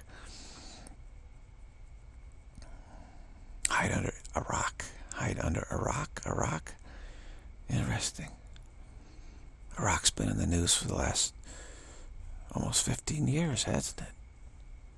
We've been, have we been hiding under a rock? A rock? Iraq? Iraq? Are we going to try to hide uh, under a rock again, meaning use that as a massive distraction? Worldwide distraction? First war, Iraq-Kuwait War, Desert Storm, and the second war, invasion of Iraq the, the posing of Saddam Hussein, the strong man that was, who was actually holding the country together. You know, this caused massive destabilization in the world, as has all the Arab Spring stuff. Massive destabilization of the world. You, you know, if you weren't, if you didn't know better, you know, you know, if you you know, as, as, as a human, you know, humans say, of course, no, everyone's trying to do the best job they can. But if you didn't know that, you might think that maybe there's like, you know, there's, there's, there's some agenda here to intentionally destabilize the world, actually. I mean, they're doing everything possible to, to, to do exactly that. You know, it, it didn't take much intelligence uh, at all for people to say, oh, wait a minute, you know, uh, we really want to remove these these these these governments that are keeping their holding their countries together and destabilize the entire region. This seems like you know suicidal. Duh, and it turns turned out that way, right? Of course. So, are these wise leaders who are all schooled in in in this corporate, uh, uh, you know, belief system, psychoanalytic uh, belief system, uh, and human potential beliefs and, and, and the think tanks that inform all the leaders, political leaders, what to do. They establish policy. These leaders are just actors and actresses and stuff, basically. I mean, who, who can sound good, you know, in front of a mic or in front of a crowd. But it's the think tanks that, that have been formed. The aristocracy, Illuminati, all these people, they, they form the, you know, they form these think tanks that to help them control the world, control events, you know, shape the future. Of course, they hire the, the, the best and the brightest and the people that they're going to inform them. What do you think? You know, what do you, what, what policy is going to work best here? Well, so the think tanks are, are, are there's a tremendous pipeline going into all these leaders of, of, of policy, a policy pipeline. And, you know, the way things have gone, you got to wonder if they're not intentionally trying to destabilize the planet, actually. I guess the folks, the refugees, think that way, don't they? Fleeing into Europe. They think, hey, great job destabilizing everything here. Right? I mean, can we can we say right now, oh, we did a great job. Yeah, we really, you know, really uh, did a great job stabilizing the area. Is that is that what we can say? I mean, the whole Syrian thing it was inspired by the Arab Spring in Egypt and, you know, Libya and, and, and the overthrow of Iraq. And there's whole, the whole idea of, of you know, let's depose, you know, the government and we'll all be happy because this was absolutely uh, seeded into those places. You know, uh, I'm not going to speculate too much on how it was all carried out, but you can, you can, it wouldn't be surprising the slightest bit if it wasn't an intentional, you know, operation uh, to, to, to destabilize the area.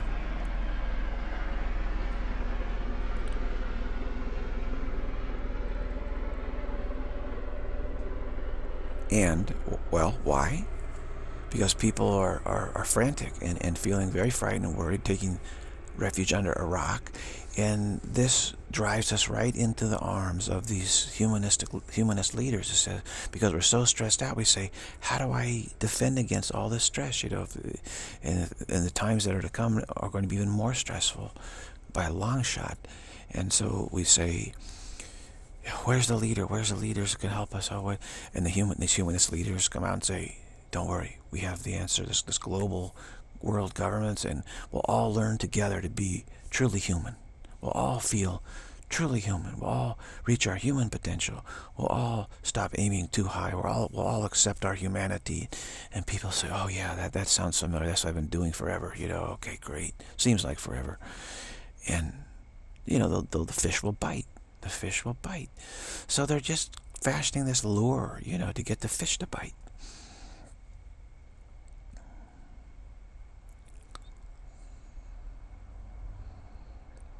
which is you know been is very successful because be it ever so humble, there's no place like familiarity, and uh, this is where people flee to uh, under stress. Of course, they might you know when things times are not so stressful, they they may dabble in this and dabble in that. But when when you know the hurricane hits, you know they're they're, they're hunkered down in what's you know where they feel is the safest place.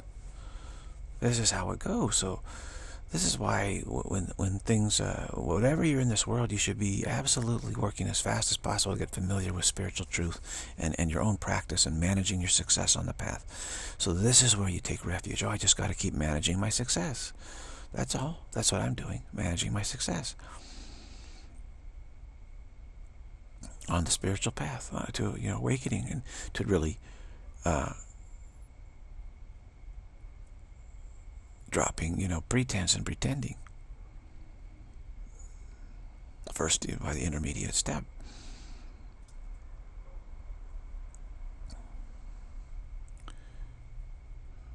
Because the, the, the New World Order, the, their whole premise and whole basis of this is horrible. And now you have the artificial intelligence where we're, we're going towards, you know, merging our functioning with that, which, and ultimately with there, though theorists are saying you're supposed to merge completely into artificial intelligence and it will take over from human, you know, being human. Because it's a more automatic defense. You know, we think we can make our defenses against truth, against continuity fear, permanent, automatic, permanent and automatic. This is why people are chasing after artificial intelligence. This has already been tried, of course, in, in the cosmos. Uh, very well known artificial intelligence. Very well known defense and uh, you know terrible delay terrible delay it actually we come out a lot of some people come out of that you know they've been been there and done that and they and they come out of it and they say wow no no no actually uh, pretending to be human is way less a defense than artificial intelligence. So sometimes, you know, you go into this fourth dimensional artificial intelligence situation and you come back out of that into the third dimensional, you know, human being, human form or whatever, that kind of thing. And that's actually much less defensive than artificial intelligence. And then from this step, you can then work on the spiritual path and continuity fear. But when you're enmeshed in artificial intelligence stuff, you can't work on the continuity fear I not I don't see how you know it it, it because it, it it you think that everything's automatic you're into automation automatic I don't have any more will of my own. You know it's all being done by artificial intelligence program. You know I programmed my future. You know this is my future that I programmed and I can't do anything other than that. This is you know the dead end of all dead ends isn't it? So then going back to imagining that you're human, it seems like, you know, liberation from this stuff. But it's not liberation from our pretension. It's, it's so we have to then use this opportunity of being human, not being human, but pretending to be human, as a great opportunity to be liberated from all pretense ultimately. The intermediate step is like you see you see a road to the future. You see a road to the future uh, like a human future, a worldly future, universal future. But from where you're viewing it, it all seems so beautiful that you just say, you know what, I feel completely fulfilled just not going anywhere. I just feel fine right here. I feel great right now. And so then you don't take any steps to go down that road at all. You say, no, there's no reason to. I mean, the beauty of it is what captures me, and I can see the beauty of it right where I am, right where I'm at. I don't need to do anything. This is the Holy Spirit's you know, vision of oneness uh, that that that Holy Spirit has waiting for us. Now, that little uh, explanation here, very interesting explanation, as we spend some time getting familiar, staying familiar with this, managing our success on the spiritual path, is that I realized today that, of course, the whole path of status is, is a false path.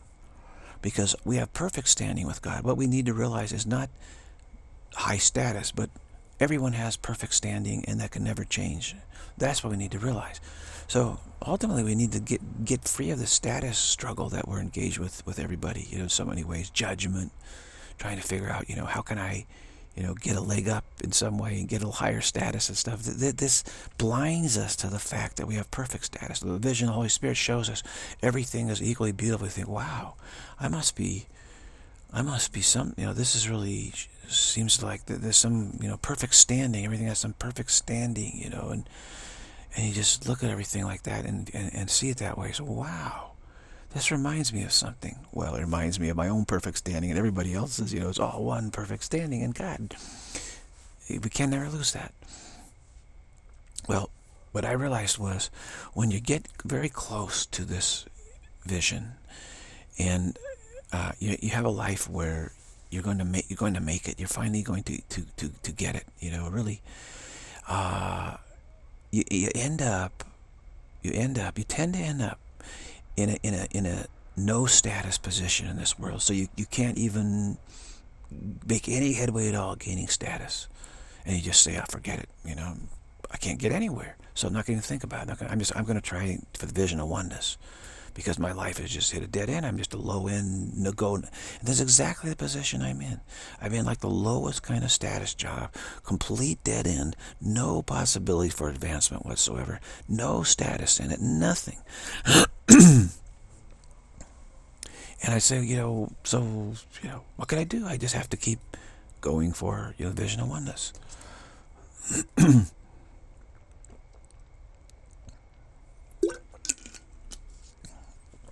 So what the Holy Spirit has done is advised me, very rightly so, you know, as long as you're seeing some way to advance yourself in this world, our, our habit is to pursue this.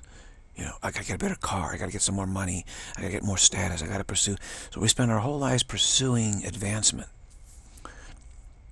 And this is so habitual to us that if there's any opportunity for advancement, we're gonna try to go down that road.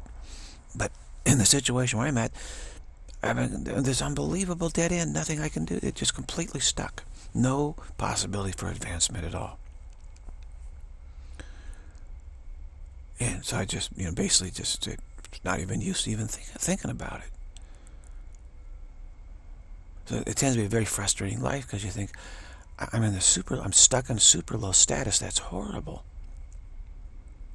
I'll always be stuck in this. I can't. But no, it's actually the best position possible in the world uh, for those who recognize it as such. Uh,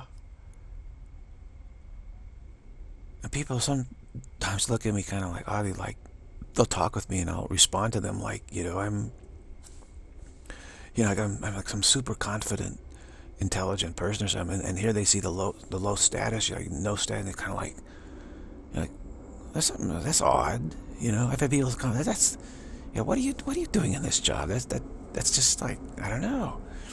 But I, I'm used to playing it like I'm an idiot, you know, I play the fool. Because people don't like someone of low, what they see as low status, you know, like seeming to be, you know, like this, this, you know, somebody who's just very, very, very confident and like they have real high status or something. They like, wait a minute, you know, that, that threatens their status. I thought I had I thought I had this really high status, and you know, this really low status person is, is seems to know more about me, knowing more about about all this stuff, and is very clear about all of that. That's not possible. We know what's going on. They don't like that, so you just you know act like, oh yeah, yeah, I'm just a stupid idiot. You know, uh, that's what I have to do. But this is very helpful because then you give up the whole you know effort for for for status. Including spiritual status. I, have no, I've had no traction in spiritual community at all. Zero. Zero. Because there's a ton of status in that whole spiritual hierarchy structure, right? Isn't there? I mean, absolutely there is. That's all statified, satisfied uh, to a tremendous extent. So there, I can't make any headway there. I can't make any headway anywhere in the world. Where's there to go? Oh, vision of oneness. That's where you can go. That's where we can go. So all praise to the Holy Spirit. This is why I say putting our life in the hands of the Holy Spirit is the right way to go. It knows how to orchestrate our escape from a very nasty continuity fear that generates all these wild goose chases to keep us preoccupied, frantically preoccupied. And if it weren't for the Holy Spirit, we would remain frantically preoccupied, wouldn't we? It's a very good, at least for vast, vast, vast long times. You know, maybe we get we'll get so fed up with it we might actually, you know, start working on it. But the continuity fear can really delay us very severely. Let's put it that way. If it weren't for the Holy Spirit, we would be extraordinarily delayed in wild goose chases as we already are, you know, artificial intelligence is, that's a terrible wild goose chase.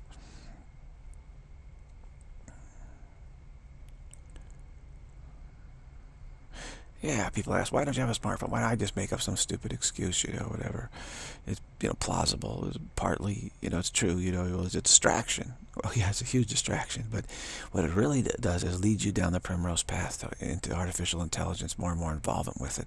It becomes more and more difficult to get out of that, uh, off that path because it, it studiously avoids the Holy Spirit, you know, studiously avoids anything that leads you to the right path. So you may not think you're going down a bad path, but you know, at some point, you know, look and say, oh, maybe I don't, I want to get off this path, and then you go, well, there's, I don't see any other, I don't see any option, you know. Uh, I feel I can't, I can't do it. And then you double down, think, well, wait a minute, maybe I just need to go more vigorously on this path, and that's the answer. And then you double down, and then it gets really terrible. And then you also, then you feel even more trapped. I want to get off, but I don't see anything at all. What, what the heck's happening in my life? You know, this is terrible. I'm in darkness now, and this is what happens. It's exactly what happens. So the Holy Spirit is the way to go, and anything that, you know, undermines attention on the Holy Spirit is not not helpful for us. I, you know, I it's rare, rare, rare, if ever does anyone, I ever hear, ever hear anyone use the term socially Holy Spirit. Yeah, people might say, well, God bless you. know, they ever say, um, Oh, may the Holy Spirit guide your life. You know, did they ever say that? They say, well, may God guide your life, but they really mean the continuity fear when they say that. Because actually God, you know, created the Holy Spirit um, specifically to help us with our continuity fear. So really we're supposed to be, you know, the Holy Spirit's an aspect of God, of the oneness of God's creation, designed by God specifically for this continuity fear issue. So to to say, "Oh, God help us." God says, "I, you know, you're supposed to be asking the Holy Spirit. That that's, you know, that is God, God the Holy Spirit." But in in in a specifically designed to help us, you know, minimize delay and liberate us from our continuity fear. So we should be praying to the Holy Spirit, actually. And uh, this is not being done. Uh, this is this is uh, the the you know God the prime creator is is simply perfectly aware that we're all with you know nothing but just perfect perfect standing perfect freedom keeps that idea as pure has to be kept pure and it, always is. There's no other option for for God the prime creator. It this is what God the prime creator does. It, it's just is you know the perfection that is. That's okay and, and so then we tried to, you know, bury ourselves in, in, in trying to change this, then God, God the Prime Creator realized that there would need to be a blessing upon God the Son, which is what we are, Spirit, to, you know, re resolve this continuity fear issue of pretending, resolve this pretending issue. And uh, so the creation of the Holy Spirit was exactly for that, perfectly for that. And so to ignore this, you know, is to basically say you've decided to remain trapped in continuity fear. Let's call it being unrepentant. When you repent, you become aware of the Holy Spirit. You do. And you say, what's this? You, you know, you, you may not call it the Holy Spirit. You just say, wow, I, I, there's some kind of super intelligence within me that I wasn't really aware of. And it's not artificial intelligence. it's, it's, uh, this is something else. This is somewhat something that, that's, I can tell that it truly has my best interests uh, and it truly knows the way to, to genuine, what I really want. It's not artificial intelligence, no. It's reasonable. It's truly reasonable. And it's, and it's, and it's patient, you know, and it's like, wow. You become aware of it when you repent. Absolutely. Subtly, you become subtly aware that there's something helping you, helping you, helping you, helping you.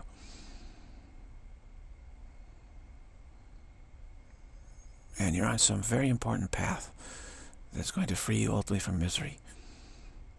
And so this this is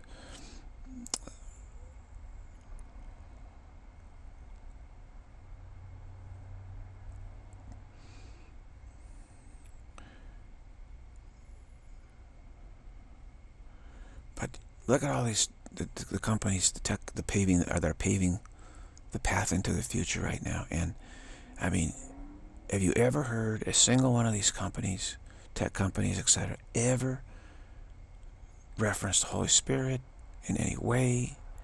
They studiously avoid, try to avoid all religion on, on their, their options that they have. You know, they, of course they have to pay some lip service to it a little bit, but you know, if you go to Yahoo, the, the, the categories you can click on, you know, there's no religion there. Google, all these companies, uh, which are really an expression of, of trying to merge human human consciousness with artificial intelligence. Uh, the last thing they would ever, would ever reference is the Holy Spirit. That's what they want to get away from. And they get away from by, by ignoring it. Now, that may seem to be, well, they're just ignoring it. It's no big deal. Well, like, again, you go down a path long enough, ignoring the option, you become convinced there is no other option. And then when you want to get off the path, you're not, you're completely unfamiliar with, with any other option, and you think you can't get off of it. This is the insidiousness of the, of the situation, the continuity fear, which is why it's symbolized by a snake.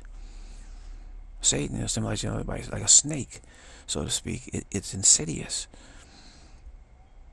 a snake creeps up on you. Never, you never, you never hear it coming at all. And you're like you're, you're like you're sitting there like snake country. You're, you know, and and suddenly you look down and there there's a snake right there, and you're like ah, you know, yeah. It it, it, it you never hear it. You you not you don't hear it coming. Uh, it creeps up on you. So we go down this path of ignoring the Holy Spirit, and one day we we we say, wait a minute, this this I'm getting really scared here. This is really frightening. And we've ignored, completely ignored the Holy Spirit in that path. So we're completely unaware of it. And we say, well, I'm not aware of any other path, so I guess I'm stuck here. All by just ignoring, ignoring, ignoring, ignoring. So this, this, this passive-aggressive sort of culture we're in, of all these microaggressions of ignoring the Holy Spirit, that's really a microaggression, you know, when ignoring the Holy Spirit. It seems like, oh, well, it's not a big deal. You know, it's no big deal.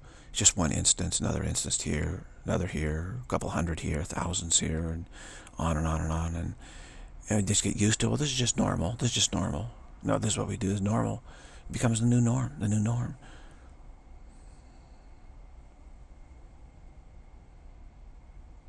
Now, people used to say, well, have you prayed to God today? I mean, but unfortunately, I, I, I never got the advice to pray to the Holy Spirit, really. And culturally, this is very rare. I had to repent first and discover the Holy Spirit. And uh, before I found out, wow, you see, this is our true advocate and liberator, as Jesus told us, a comforter that truly clarifies everything for us.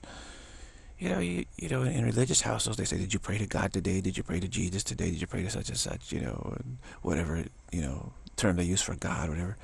They should be saying, did you put, put your day in the hands of the Holy Spirit today? Because, you know, you could say that's God, because it is. But it's very important to make the differentiation because what people most really mean when they say, did you pray to God today? They mean, did you listen to the, to the continuity fear today? That's what they're really saying. Most of them are saying that.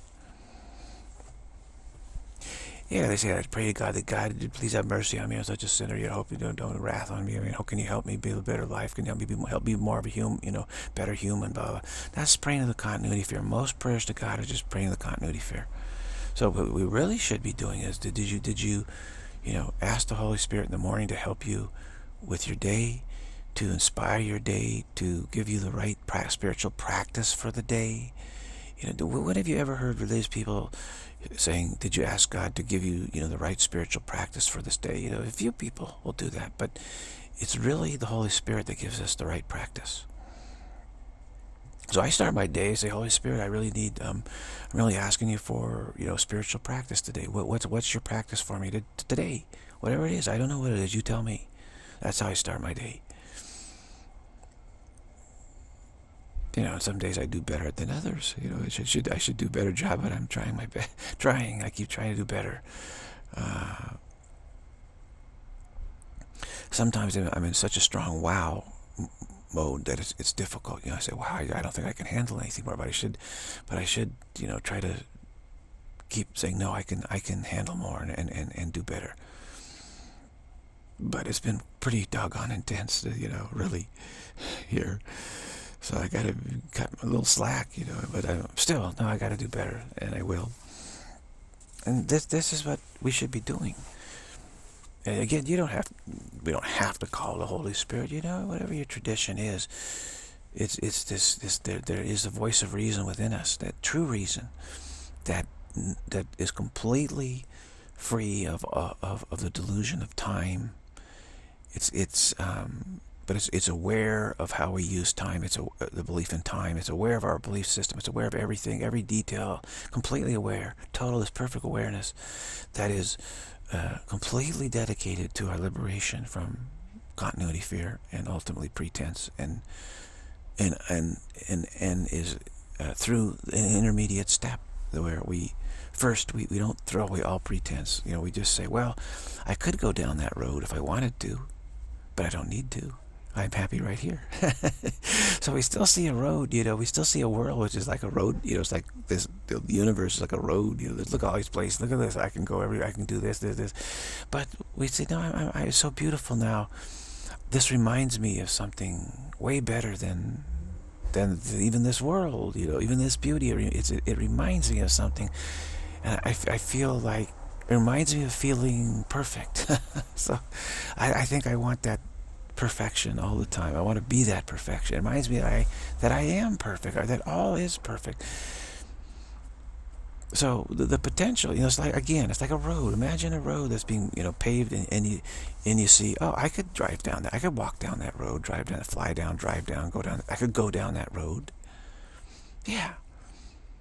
I could keep pretending, you know, that I, that this is what I am. I could go down that road of pretending. Okay? But the Holy Spirit shows in a way like we say, we look and say, oh gosh, you know, everything is so beautiful, everything's just so perfect and beautiful. I, I don't need to go down the road. You know, I feel fulfilled right here, right now. I feel, I feel just like this perfect. You know, this reminds me of something. So, but yet we look and we say, well, I could, I could go down the road if I really had to or needed to or wanted to. It's still there. I could go down the road, but I don't feel that way anymore. So this is an intermediate step, right? It doesn't take the road away from us. It just makes it seem all everything seems so beautiful. I don't really need to go down the road.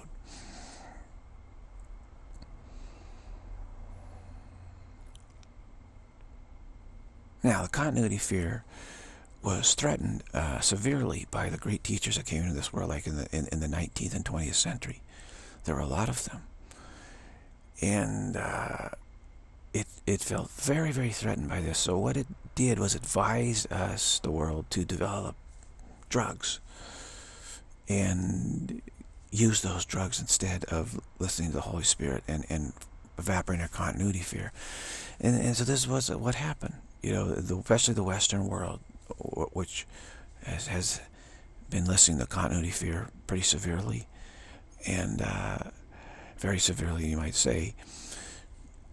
So they they came up with uh, you know LSD and and then a lot of derivatives, and they've come up with a massive amount of drugs actually, that that make you kind of superficially feel it's also beautiful. It's also beautiful. You know, but of course then it wears off and goes away. You need the drug again for it, for it, and, and it becomes a materialistic, you know, commodity. It becomes a commodity, so commoditized it. So these people taking these drugs go to over to in, India or various places, Tibet or whatever, and, uh, you know, some Buddhist, you know, country, Sri Lanka or Thailand or Cambodia or wherever, and uh, and other places, absolute other places, and they say, hey, you know, I mean, you know, I can, you know, you're doing this meditation. They say, I'm, just like you. You're doing this meditation. You get into, you see, oh, it's all so beautiful, and you have this, go on this trip, and then you come out of it and say, oh, wow, okay.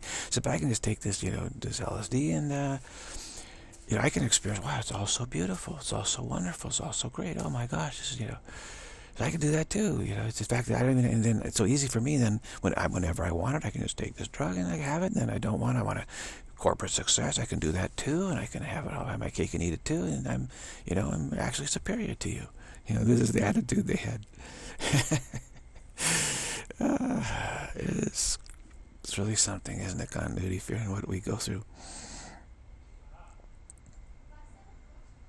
So they didn't listen to the Holy Spirit. They said, I don't need to listen to the Holy Spirit. I got the I got the totem animals are showing up in my ayahuasca vision or peyote vision or whatever, and serpents are showing up and all these things, you know, oh, I'll listen to the totem animal or whatever's showing up and they'll tell me the truth and things like that. And shamanistic, became very shamanistic. And uh,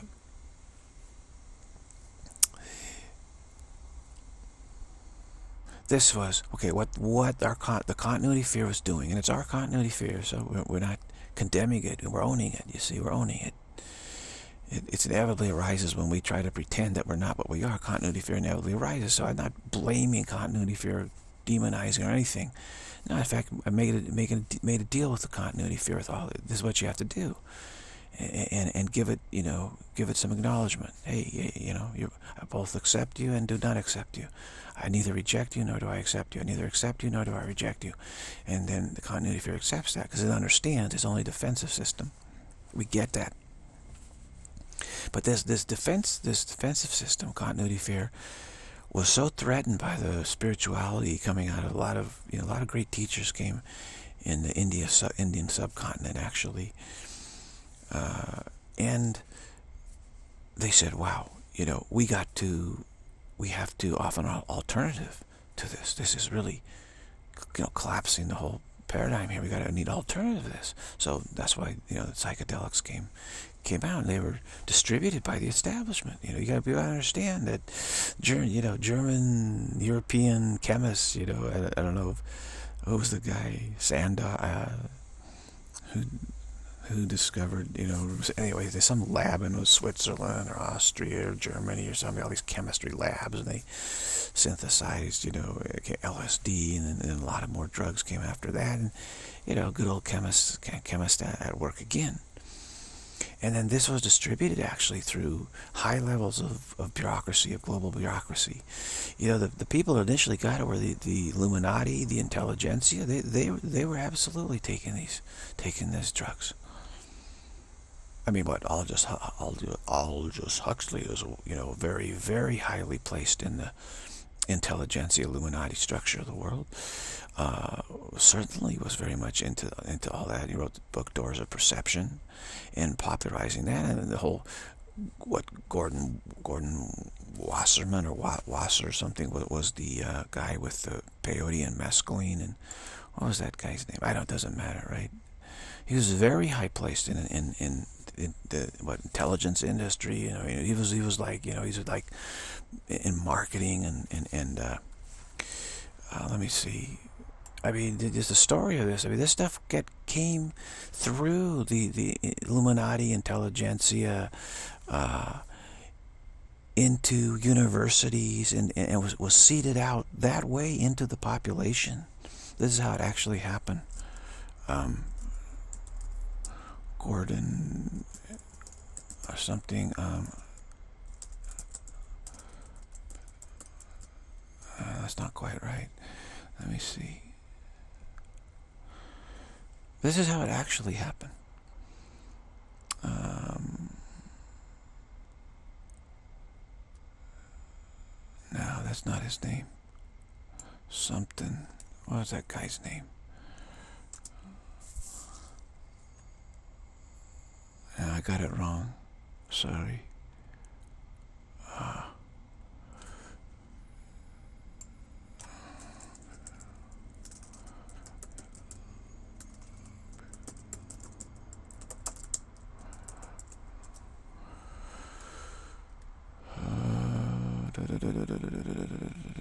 Huxley, but behind Huxley, I thought it was. Oh, Sandoz. I was right about that. Sandoz, LSD, and um, uh, let me see. Yeah.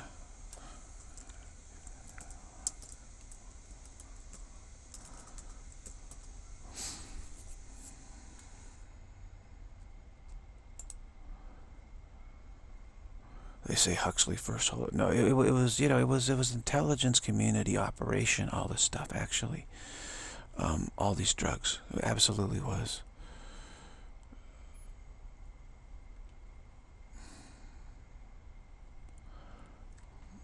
Arthur Heffter isolated alkaloids in 1891. You see, so it was around for quite some time. Another and then Ernest Spath, another German chemist, so both of these guys are German chemists, synthesized the drug, uh, psychoanalytic drug. This is in, in 1919. You see, so these synthetic drugs have been around since 1919, 1891, 1919, and the, the intelligentsia was aware of this and taking this stuff. Um, German-American Heinrich Kluver was the first to systematically study its psychological effects in a small book by uh, Weston LaBarre, peyote cult. Let's see. LaBarre. In 1947, the U.S. Navy undertook product, product chatter, which examined the potential for drugs, a truth-revealing agent. And Huxley wrote the book. Uh, but this isn't... Um, Okay, they leave out this guy. That's very interesting. Pretty amazing. But um, Osmond and Gerald Heard, these are the American Psychiatric Association. So the, the psychoanalysts are very much aware of this. Okay, these drugs. They use them actually on some of their patients. Uh, all these drugs that, that, that came through. This is how it all came through they're leaving out this very important guy in, in this in this uh, Wikipedia article who um, wrote a book about it and popularized it. Wow, it's amazing. They don't get into that. That's extraordinary. Uh, I'll have to dig into this if I want to. That's not really important. But all these people were high-level people, intelligentsia they're, they're, they're listing here. Here you go, Huston Smith. Uh,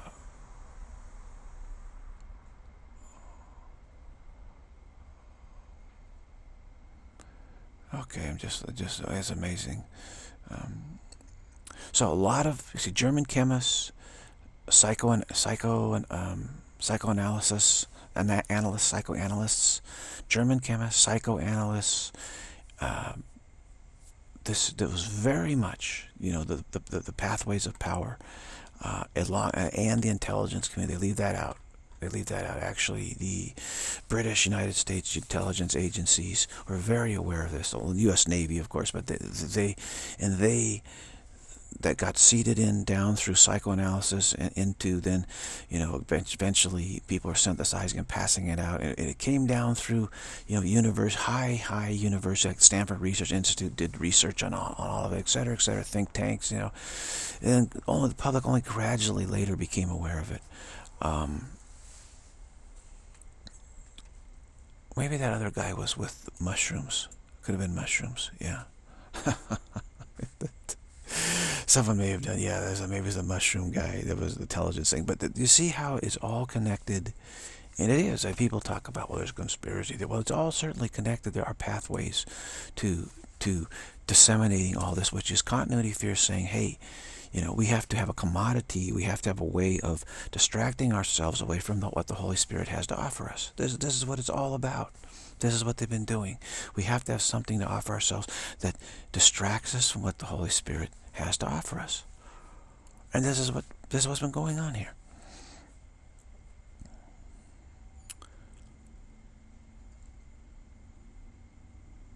I remember. I mean, the people think that they're so great that they have these drugs, and they think, "Well, I don't need, I don't need to spend a lifetime in meditation. I can get there right now."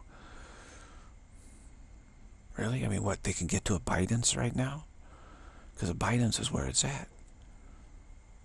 That is it. It is. It is. It is abidance. they don't get to abidance through drugs. It's ridiculous. Continuity fear, ridiculous. You can see the hand of continuity fear all over this. So back in 1891, they, they isolated the psycho, psychotropic properties of psychoactive properties of, of peyote. In, in, in 19, what was it, 1913 or something, or 18, whatever. Um, it was they they they synthesized art, a, synth, a synthetic, you know, mescaline and, and, and whatever. That, that was available then to this the psycho. They used in psychoanalysis. A lot of these drugs were were, were initially used in in, in, in, in a military um, truth serum and try to kind of see what kind of military application they have for it. And then thinking maybe we can, you know, different different ideas. We can help people with their neuroses, or we can help people, public be more compliant, or more happy, or more truthful. Of course, corporations want all the employees to be very truthful. Did you really do this, or did you really take this? Did you steal these secrets? Yeah, it's all this paranoia in corporate land, uh, you know, about secrets here, um, which, you know, Silicon Valley is very aware of that. And, you know, and, and hacking now, they hack in and get, you know, hack in and get all your, you know, corporate secrets and stuff. It's a big deal. So they want to have a way of, of making sure that the employees were truth, super truthful. So they're trying to find some, you know, better truth serum. There's been a big push in, in intelligence community is, you know, truth serum. And, and then corporate, you know, corporate, global corporations um, fund all these think tanks and they fund these, these different philanthropic charitable organizations that are just fronts for, for a lot of stuff. And uh, this is the world we live in. This is the continuity fear. This is what continuity fear has come up come up with for us. This is literally this is li this world's literally what continuity fear has come up advised us. You know, this is this is the way to go. And what is continuity fear's main objective? Stay away from the Holy Spirit. It doesn't. It doesn't exist. It doesn't have anything for you. It doesn't exist. There is no continuity fear. Just keep listening to you know the, the continuity fear advice. then don't realize it is. Say that it's coming from God. You know, please. That's the continuity fear says. You know, and uh, distract, distract. Stay away from what the Holy Spirit has to offer. Stay away. Stay away. It's too dangerous. Too dangerous. Stay away from the real God, the real truth, the real Spirit. Distract, distract, distract keep yourself distracted. And when you start leaning that way, oh, don't worry, you know, we got these chemists who got this synthetic stuff that'll, you know, this is, this, this is way to go. This is what you're really looking for. Yeah, the Holy Spirit stuff is just weak, weak, weak, weak, weak stuff. You know, uh, meditating is weak. This stuff's the real stuff. This will make you, you know, this will really blow your mind. You want to blow your mind? Here you go. And of course, it does blow your mind. And you say, wow, it's too strong. I don't want that. And then you get even more scared of spirit, right? This is their game. This is the game of continuity. Continuity fair game, wild goose chase.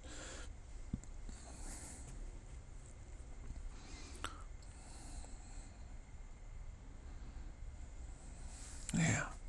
Who's that guy? I, let this wow sink in. Uh,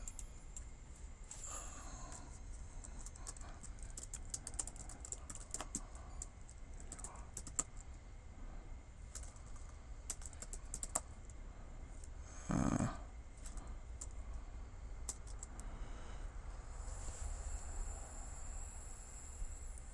Oh yeah, there you go. Robert Gordon Wasson. That was pretty I Called Gordon Wasserman, so that's pretty close. Robert Gordon Wasson.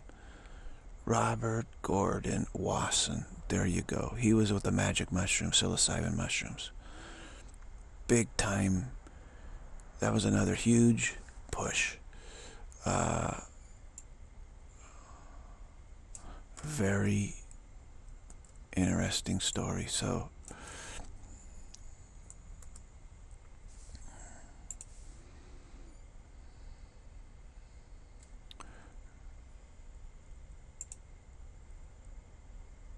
Vice, oh yeah, Vice President of J.P. Morgan. There you go. There he is, Vice President of J.P. Morgan. He was American author, ethnomycologist, and Vice President of J.P. Morgan and Company, which is which is like a well, like the heart of the spider web, you know. In the course of independent research, yeah, right, independent. He he made contributions to the fields of ethnobotany, botany, and anthropology. Several of the books were self-published and illustrated limited editions that have never been reprinted. Uh,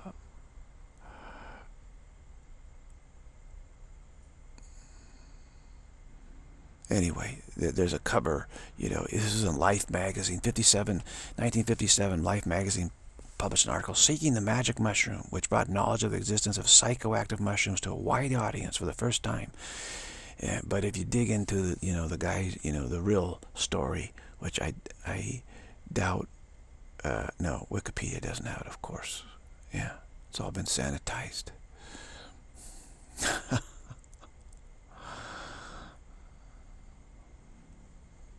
Albert Hofmann. I thought Albert Hofmann was the guy that, you know, he synthesized. No, he was Albert Hofmann, not Sandoz, as Hofmann synthesized LSD, and of course, uh, Albert Hofmann and Was, uh, Gordon Was, uh, Wasson, you know, were well known to one another. Uh, no, no, not necessarily. Oh yeah, for collected. Uh, Albert Hofmann used material grown by by Washington botanist Roger Heim. Uh, Roger Heim grew material from specimens collected by the Wassons. Identi Hofmann identified the chemical structure of the active compounds psilocybin and psilocin. Hofmann and Wasson were also of the first Westerners to collect specimens of the Mazatec hallucinogen Salvia divinorum. Though these specimens blah blah blah. Okay, so you know it's it's it's all connected. It's all connected. These people you know, the chemist, the psychoanalyst, the, the, the power structure, J.P. Morgan, you know, the, the bankers, the, it's all part of uh, one connected situation that, which is continuity fear, uh, saying, hey, you know, we have an alternative to the Holy Spirit. That's what the, that's what it's about. They said, no, no, no, we can, you know, we plants, you know, God put plants in the world. That's going to save us. Uh, this has become like the de facto belief system of young people in the world right now. They're so brainwashed by this stuff that you know you can't even talk with them anymore. This this is simply uh, Wasson's next major contribution was the study of the ancient Vedic intoxicant soma, which he proposes based on the psychoactive fly agaric, which is not true, you know, at all. Uh, then he turned to Eleusinian, Eleusinian mysteries and what was, you know, the the the initiation, you know, uh, substance that they taught. And of course, he said it must be, you know, psilocybin. The kykeon, kykeon, a pivotal component of the ceremony, contained psychoactive ergoline alkaloids from the fungus ergot. Well, he thought that's what Hofmann thought, and etc. So, you know, they're all saying, hey, the whole history of religion, basically their, their premise of, of you know, of the Illuminati working through these people, which is really the continuity fear working through these people. That's all it really is, is. They're not really people, they're spirits with continuity fear, listening to continuity fear's advice, saying that the history of religion is really all just a psychoactive, you know, ethnogen, using these, you know, psilocybin and ergot and various psychoactive compounds from nature. And that's where all religion came from, and that's, this is, this is our salvation. You know, this this is the, what they've been pushing on us, and it's come down from the highest levels again through the power structure of the whole of the planet. Absolutely, it has. It didn't come up from some hippies. That's the biggest bunch of nonsense ever. They popularized it, but it it came down from the highest levels, okay, of of the military-industrial complex and shadow government and Illuminati, etc. Highest levels. It trickled down through intelligentsia way before the hippies knew anything about it. Okay, this stuff's been around, and you might say, for for, for quite some time, and, and, and they'd synthesize it, and same thing with, you know, the, the more modern stuff, the DMTs and, and the ecstasy, whatever, all the stuff that comes out. There's so, there's so many derivatives now. It's just like a book full of them you can get. And all that stuff, again, is, is chemistry. Is They synthesize it, and some, you know, get, some of use the, the, the actual plants and stuff. Um, but it's, it's a distraction. It's, it's a way of saying, it's a way for continuity fear say, hey, whatever you think the Holy Spirit's got, to mythical belief in God, you know, no, no, we're human, and humans have the capacity to, you know, reach this beautiful state here. We can do this, you know, through the plants we have here and all this kind of stuff. You know, this is this is what the continuity fear wants uh, us to believe, and this has become entrenched on this planet as on purpose. There's the continuity fear is doing it. all. I know people say there's this great, uh, you know, conspiracy, Illuminati conspiracy, but it's no, it it's the continuity fear that's doing all of this. It's doing all of it, all of it, all of it. Everyone, everyone's going along just dupes. They're, they're, they're believing in the continuity fear, saving them some great from some great inner threat that is nameless, amorphous dread. They don't know what the dread is, they say this is some sort of existential dread. You know, right? This is what they're saying. And it's some sort of like something that humans struggle with, this, this existential dread of, of identity. And these, you know, these drugs can help us, you know, find our, our identity, you know, help us be fully human and uh, overcome this existential dread and all this kind of stuff, you know. So this is, the dread is so severe, the continuity fear is so severe that they listen to the advice of, of continuity fear advice, ego, you know, this is what they listen to.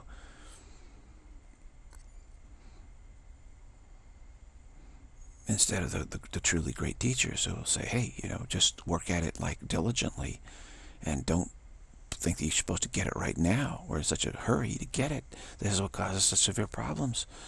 Uh, we have to keep working at it, working at it, working at it, working at it, working at it. And every little step we take, you know, is, is, is a step taken.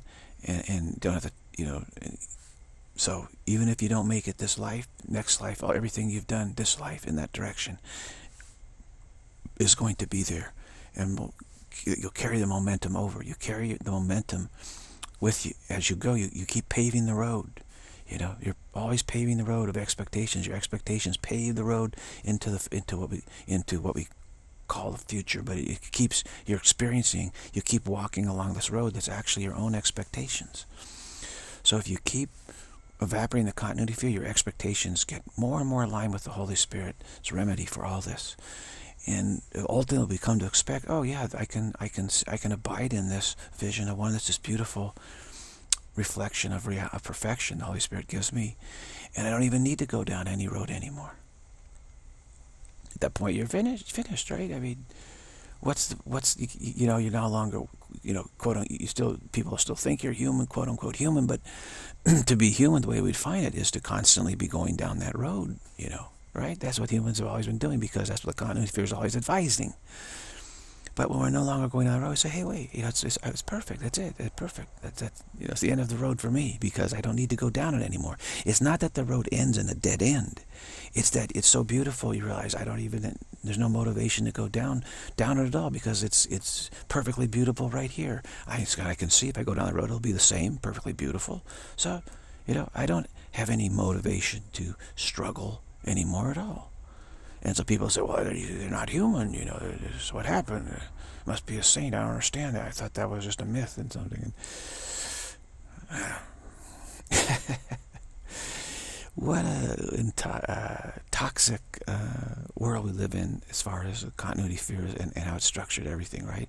So people are, you know, they're not wrong to say there's a, this vast conspiracy global. Absolutely. But this, it's not What's in charge is the continuity fear, the ego continuity fear.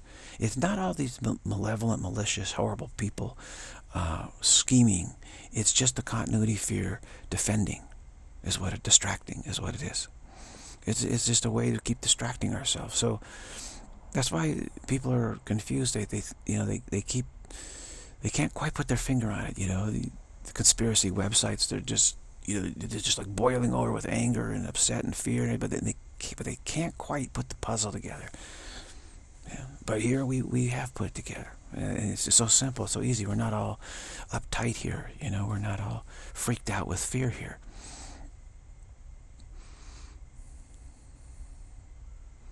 Just it's really very simple actually. It's very simple. We're just trying to distract ourselves away from the Holy Spirit, thinking that that's our salvation.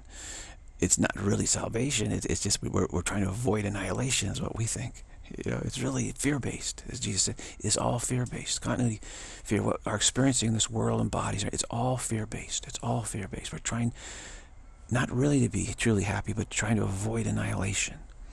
Because we think if we stop pretending, if pretending stops, we will cease to exist. We will. There's no functionality, therefore there's no identity. We think we'll just be in you know, total annihilation because we've identified with pretending as our functionality. This is the trouble.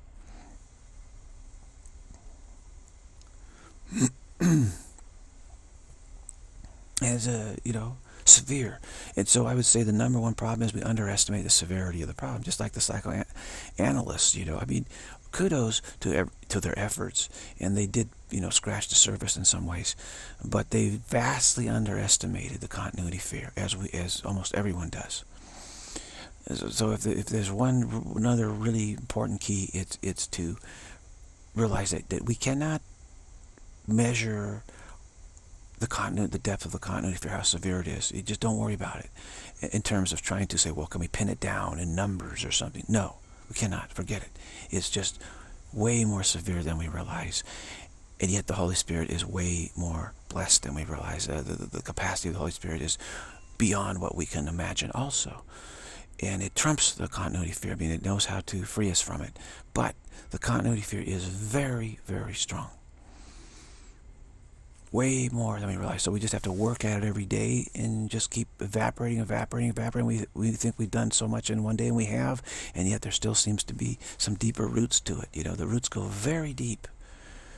We're so adept at pretending that, you know, we are all, you know, almost convinced if we stop pretending that we, we will cease to be, the being will cease.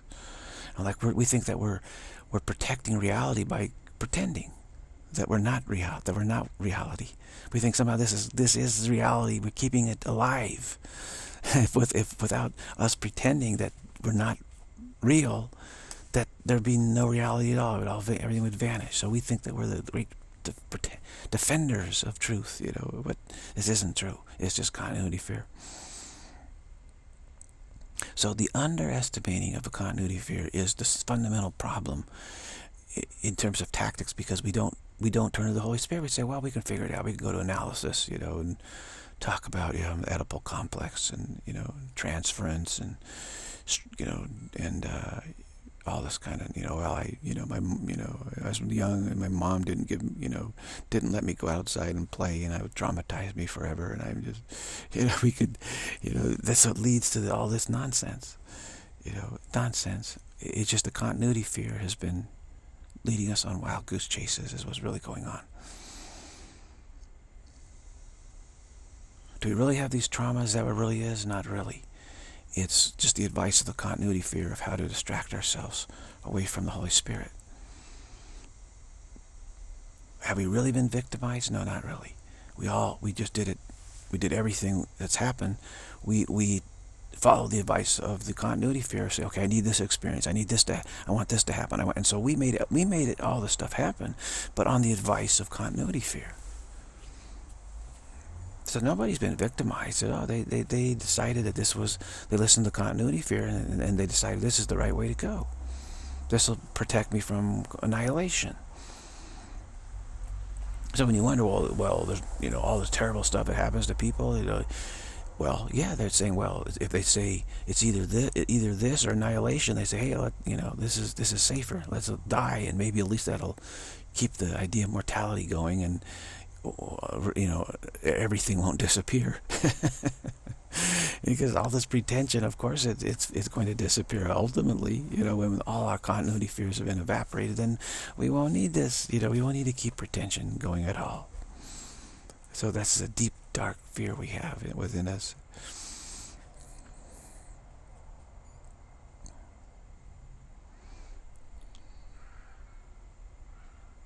What's that? That's pretty funny. I was trying to think of the guy who did primal scream therapy. And, and suddenly someone in the distance, there's it's Friday night, some kid started screaming. That's pretty funny.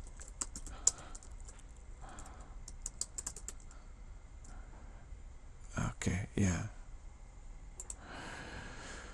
So, you know, there's a school of thought that uh, Arthur Janov, there you go, good old Arthur Janov, uh, is is the the key is um, you got you got some primal scream within you. You know, the threat was that this primal scream, if you let out the primal scream, the threat then is released.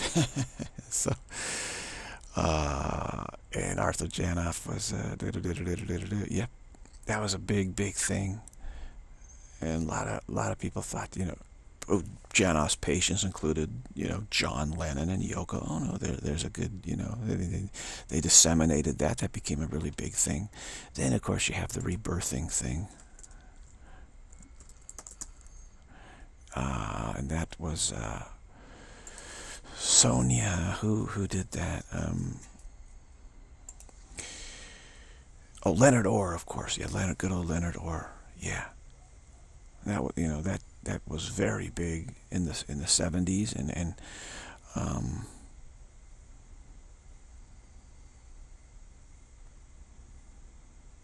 and of course the psychoanalysts would say that's crazy you know because that was taking away their profits you know and threatening their orthodoxy so they would like, crazy therapies you know and so yeah Leonard Orr does not have a Wikipedia page that's pretty amazing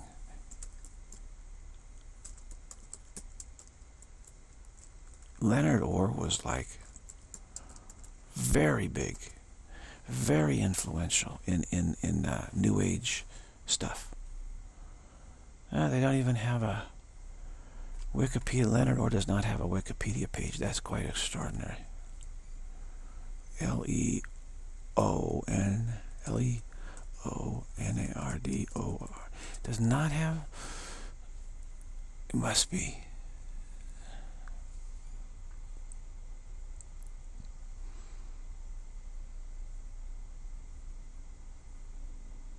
No, he does not have it. Does not. That's amazing. Yeah, in, New Age, New Age there's New Age therapies which threaten the orthodoxy of the psychoanalysts. You know that whole field, their their orthodox control over all therapy, all things therapeutic. You know, there are these new therapies that came out of what California. You know, I think it's like Marin or something. I don't know, Leonard Orr, but uh, the idea is that you you you you, you re relive your birth and let go of the trauma of your birth. Okay, okay, is that? Yeah, there's Leonard, or I guess. he had all sorts of uh, disciples. It was it was huge. It was huge, and then of course there's there's all sorts of therapies coming all all, all over the place that threatened the orthodoxy. They said, ah, it's crazy. Cult, it's a cult. It's a crazy cult. Well, you know, maybe. But what's psychoanalysis? That's not a, that's not a crazy cult too, you know? Well, it's, but it's orthodox. it's accepted by corporations, of course it's okay. It's not a problem, right? It must be true. Because it makes money. They, wouldn't accept it if it wasn't profitable. But you know, if rebirthing was work, they'd, they'd put that. Maybe Google have a rebirth center. You know, rebirth center probably does. Wouldn't be surprising if Facebook had something like that. and make sure that all the all their senior management goes through a rebirth rebirth process, rebirth experience. You know. and, and, of course, it, it, gives you some sort of you know, it, you know, a little it gets you a buzz. I mean, it's, it's not that you know, you don't experience, that gives you experience, nice distraction from the Holy Spirit is what it is. It's really, you know, oh, look at this distraction. This is, this is great. I'm safe. You know, I'm safe from that threat, terrible existential threat. Someone's threatening my identity, and I, but I, I just got reborn. It was really my birth. I didn't have a good birth. And that was what was giving me this existential threat feeling. But now that I've been, you know, relived my birth and released the, by breathing, and my breathing's okay and everything's good, now I say, okay, there's no more existential threat. I feel fine. Except all the crazy people in the world, and I'm just getting sick, and I was, huh. Yeah, I just have to teach everybody the technique and then we'll all be fine. so, yeah.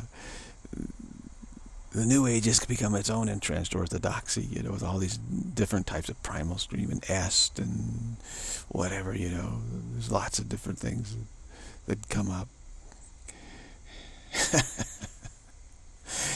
it's just all distractions. It's all distractions. The, the way to go about it is what the Holy Spirit has, has suggested that I understand is this, you know, is assertions, doing the proper affirmations, assertions, affirmations, you know, and full stop in the wow. Let the, the elation of, of, of that you glimpse the truth, and then flipping the script that where you, like we've been doing in this video, a lot of flipping the script here. Just saying, okay, the con and you know, and managing your success on the path. That is, you know, manage your success. Now, you know, rebirthing, all that stuff can be part of a path, sure part of it on the way, you know, if, if that's what, you know, some people might go through it and find it, you know, is helpful in some ways. So it's not like we're saying, well, you can't do anything or anything like that. But you have to manage your success and, and you have to understand this, that the continuity fear is way severe than we realize. You have to work on it every day and, and you have to, you know, it's very important to, to, to manage, to full stop on the wow, manage your success and get clearer and clearer and clearer and clearer about what really true liberation is. It's not rebirthing, it's not primal scream, it's not psychoanalysis, it's not any of these therapies really. It's the vision of oneness that the Holy Spirit has for us. What is what the Holy Spirit has for us is our salvation, and nothing else is our salvation. That is true. And I'm not saying Holy Spirit in a Christian context solely at all. It's the grace of God, the voice of reason with, within every mind, within mind. There's one mind, it's within the one mind. That one mind is expressing itself as many aspects. So it's there for everyone, every one of us, every one of us. It's, it's within us. It's within our mind. Not the human, well, we think they pretend the human mind, our spiritual mind. It's within, it's within our spiritual mind. And everyone has access to the Holy Spirit 24-7. This video is about ready to finish, be finished up. But 24-7, we have access to it. Everyone. Always. Always. Always. And that vision of oneness, that vision of that road, so beautiful. Ah, I can just abide here. I can just abide in it. Wherever I am. It's just wherever I look. Every roadway that I see, this, this, you know, it's just so beautiful right here. It's just so beautiful right here, right now. Just abide in that. I don't need to struggle for status or looking for status or chasing after status or anything like that. No. I have perfect standing. Everything I feel, I feel like everything has perfect standing but yet it's still perception. It still seems to be in, in the, the stage of time, space, process, and form, right? But we're reminded like a reflection of perfect, perfection. And we say, oh, and just abide in that. This is the real Holy Grail. This is what we're really getting to. And all these various therapies are just, you know, you know, basic wild goose chases along the way that we recognize. We get something you know, positive, hopefully, and thinking like, okay, now that maybe that wasn't it, but, you know, I, I might have seen something, glimpsed something, and, you know, you just, you have to keep working through and get, listen to the Holy Spirit more and more and more and more, and realize that, that you know, you're your own therapist, so to speak, is within you. Holy Spirit is your therapist.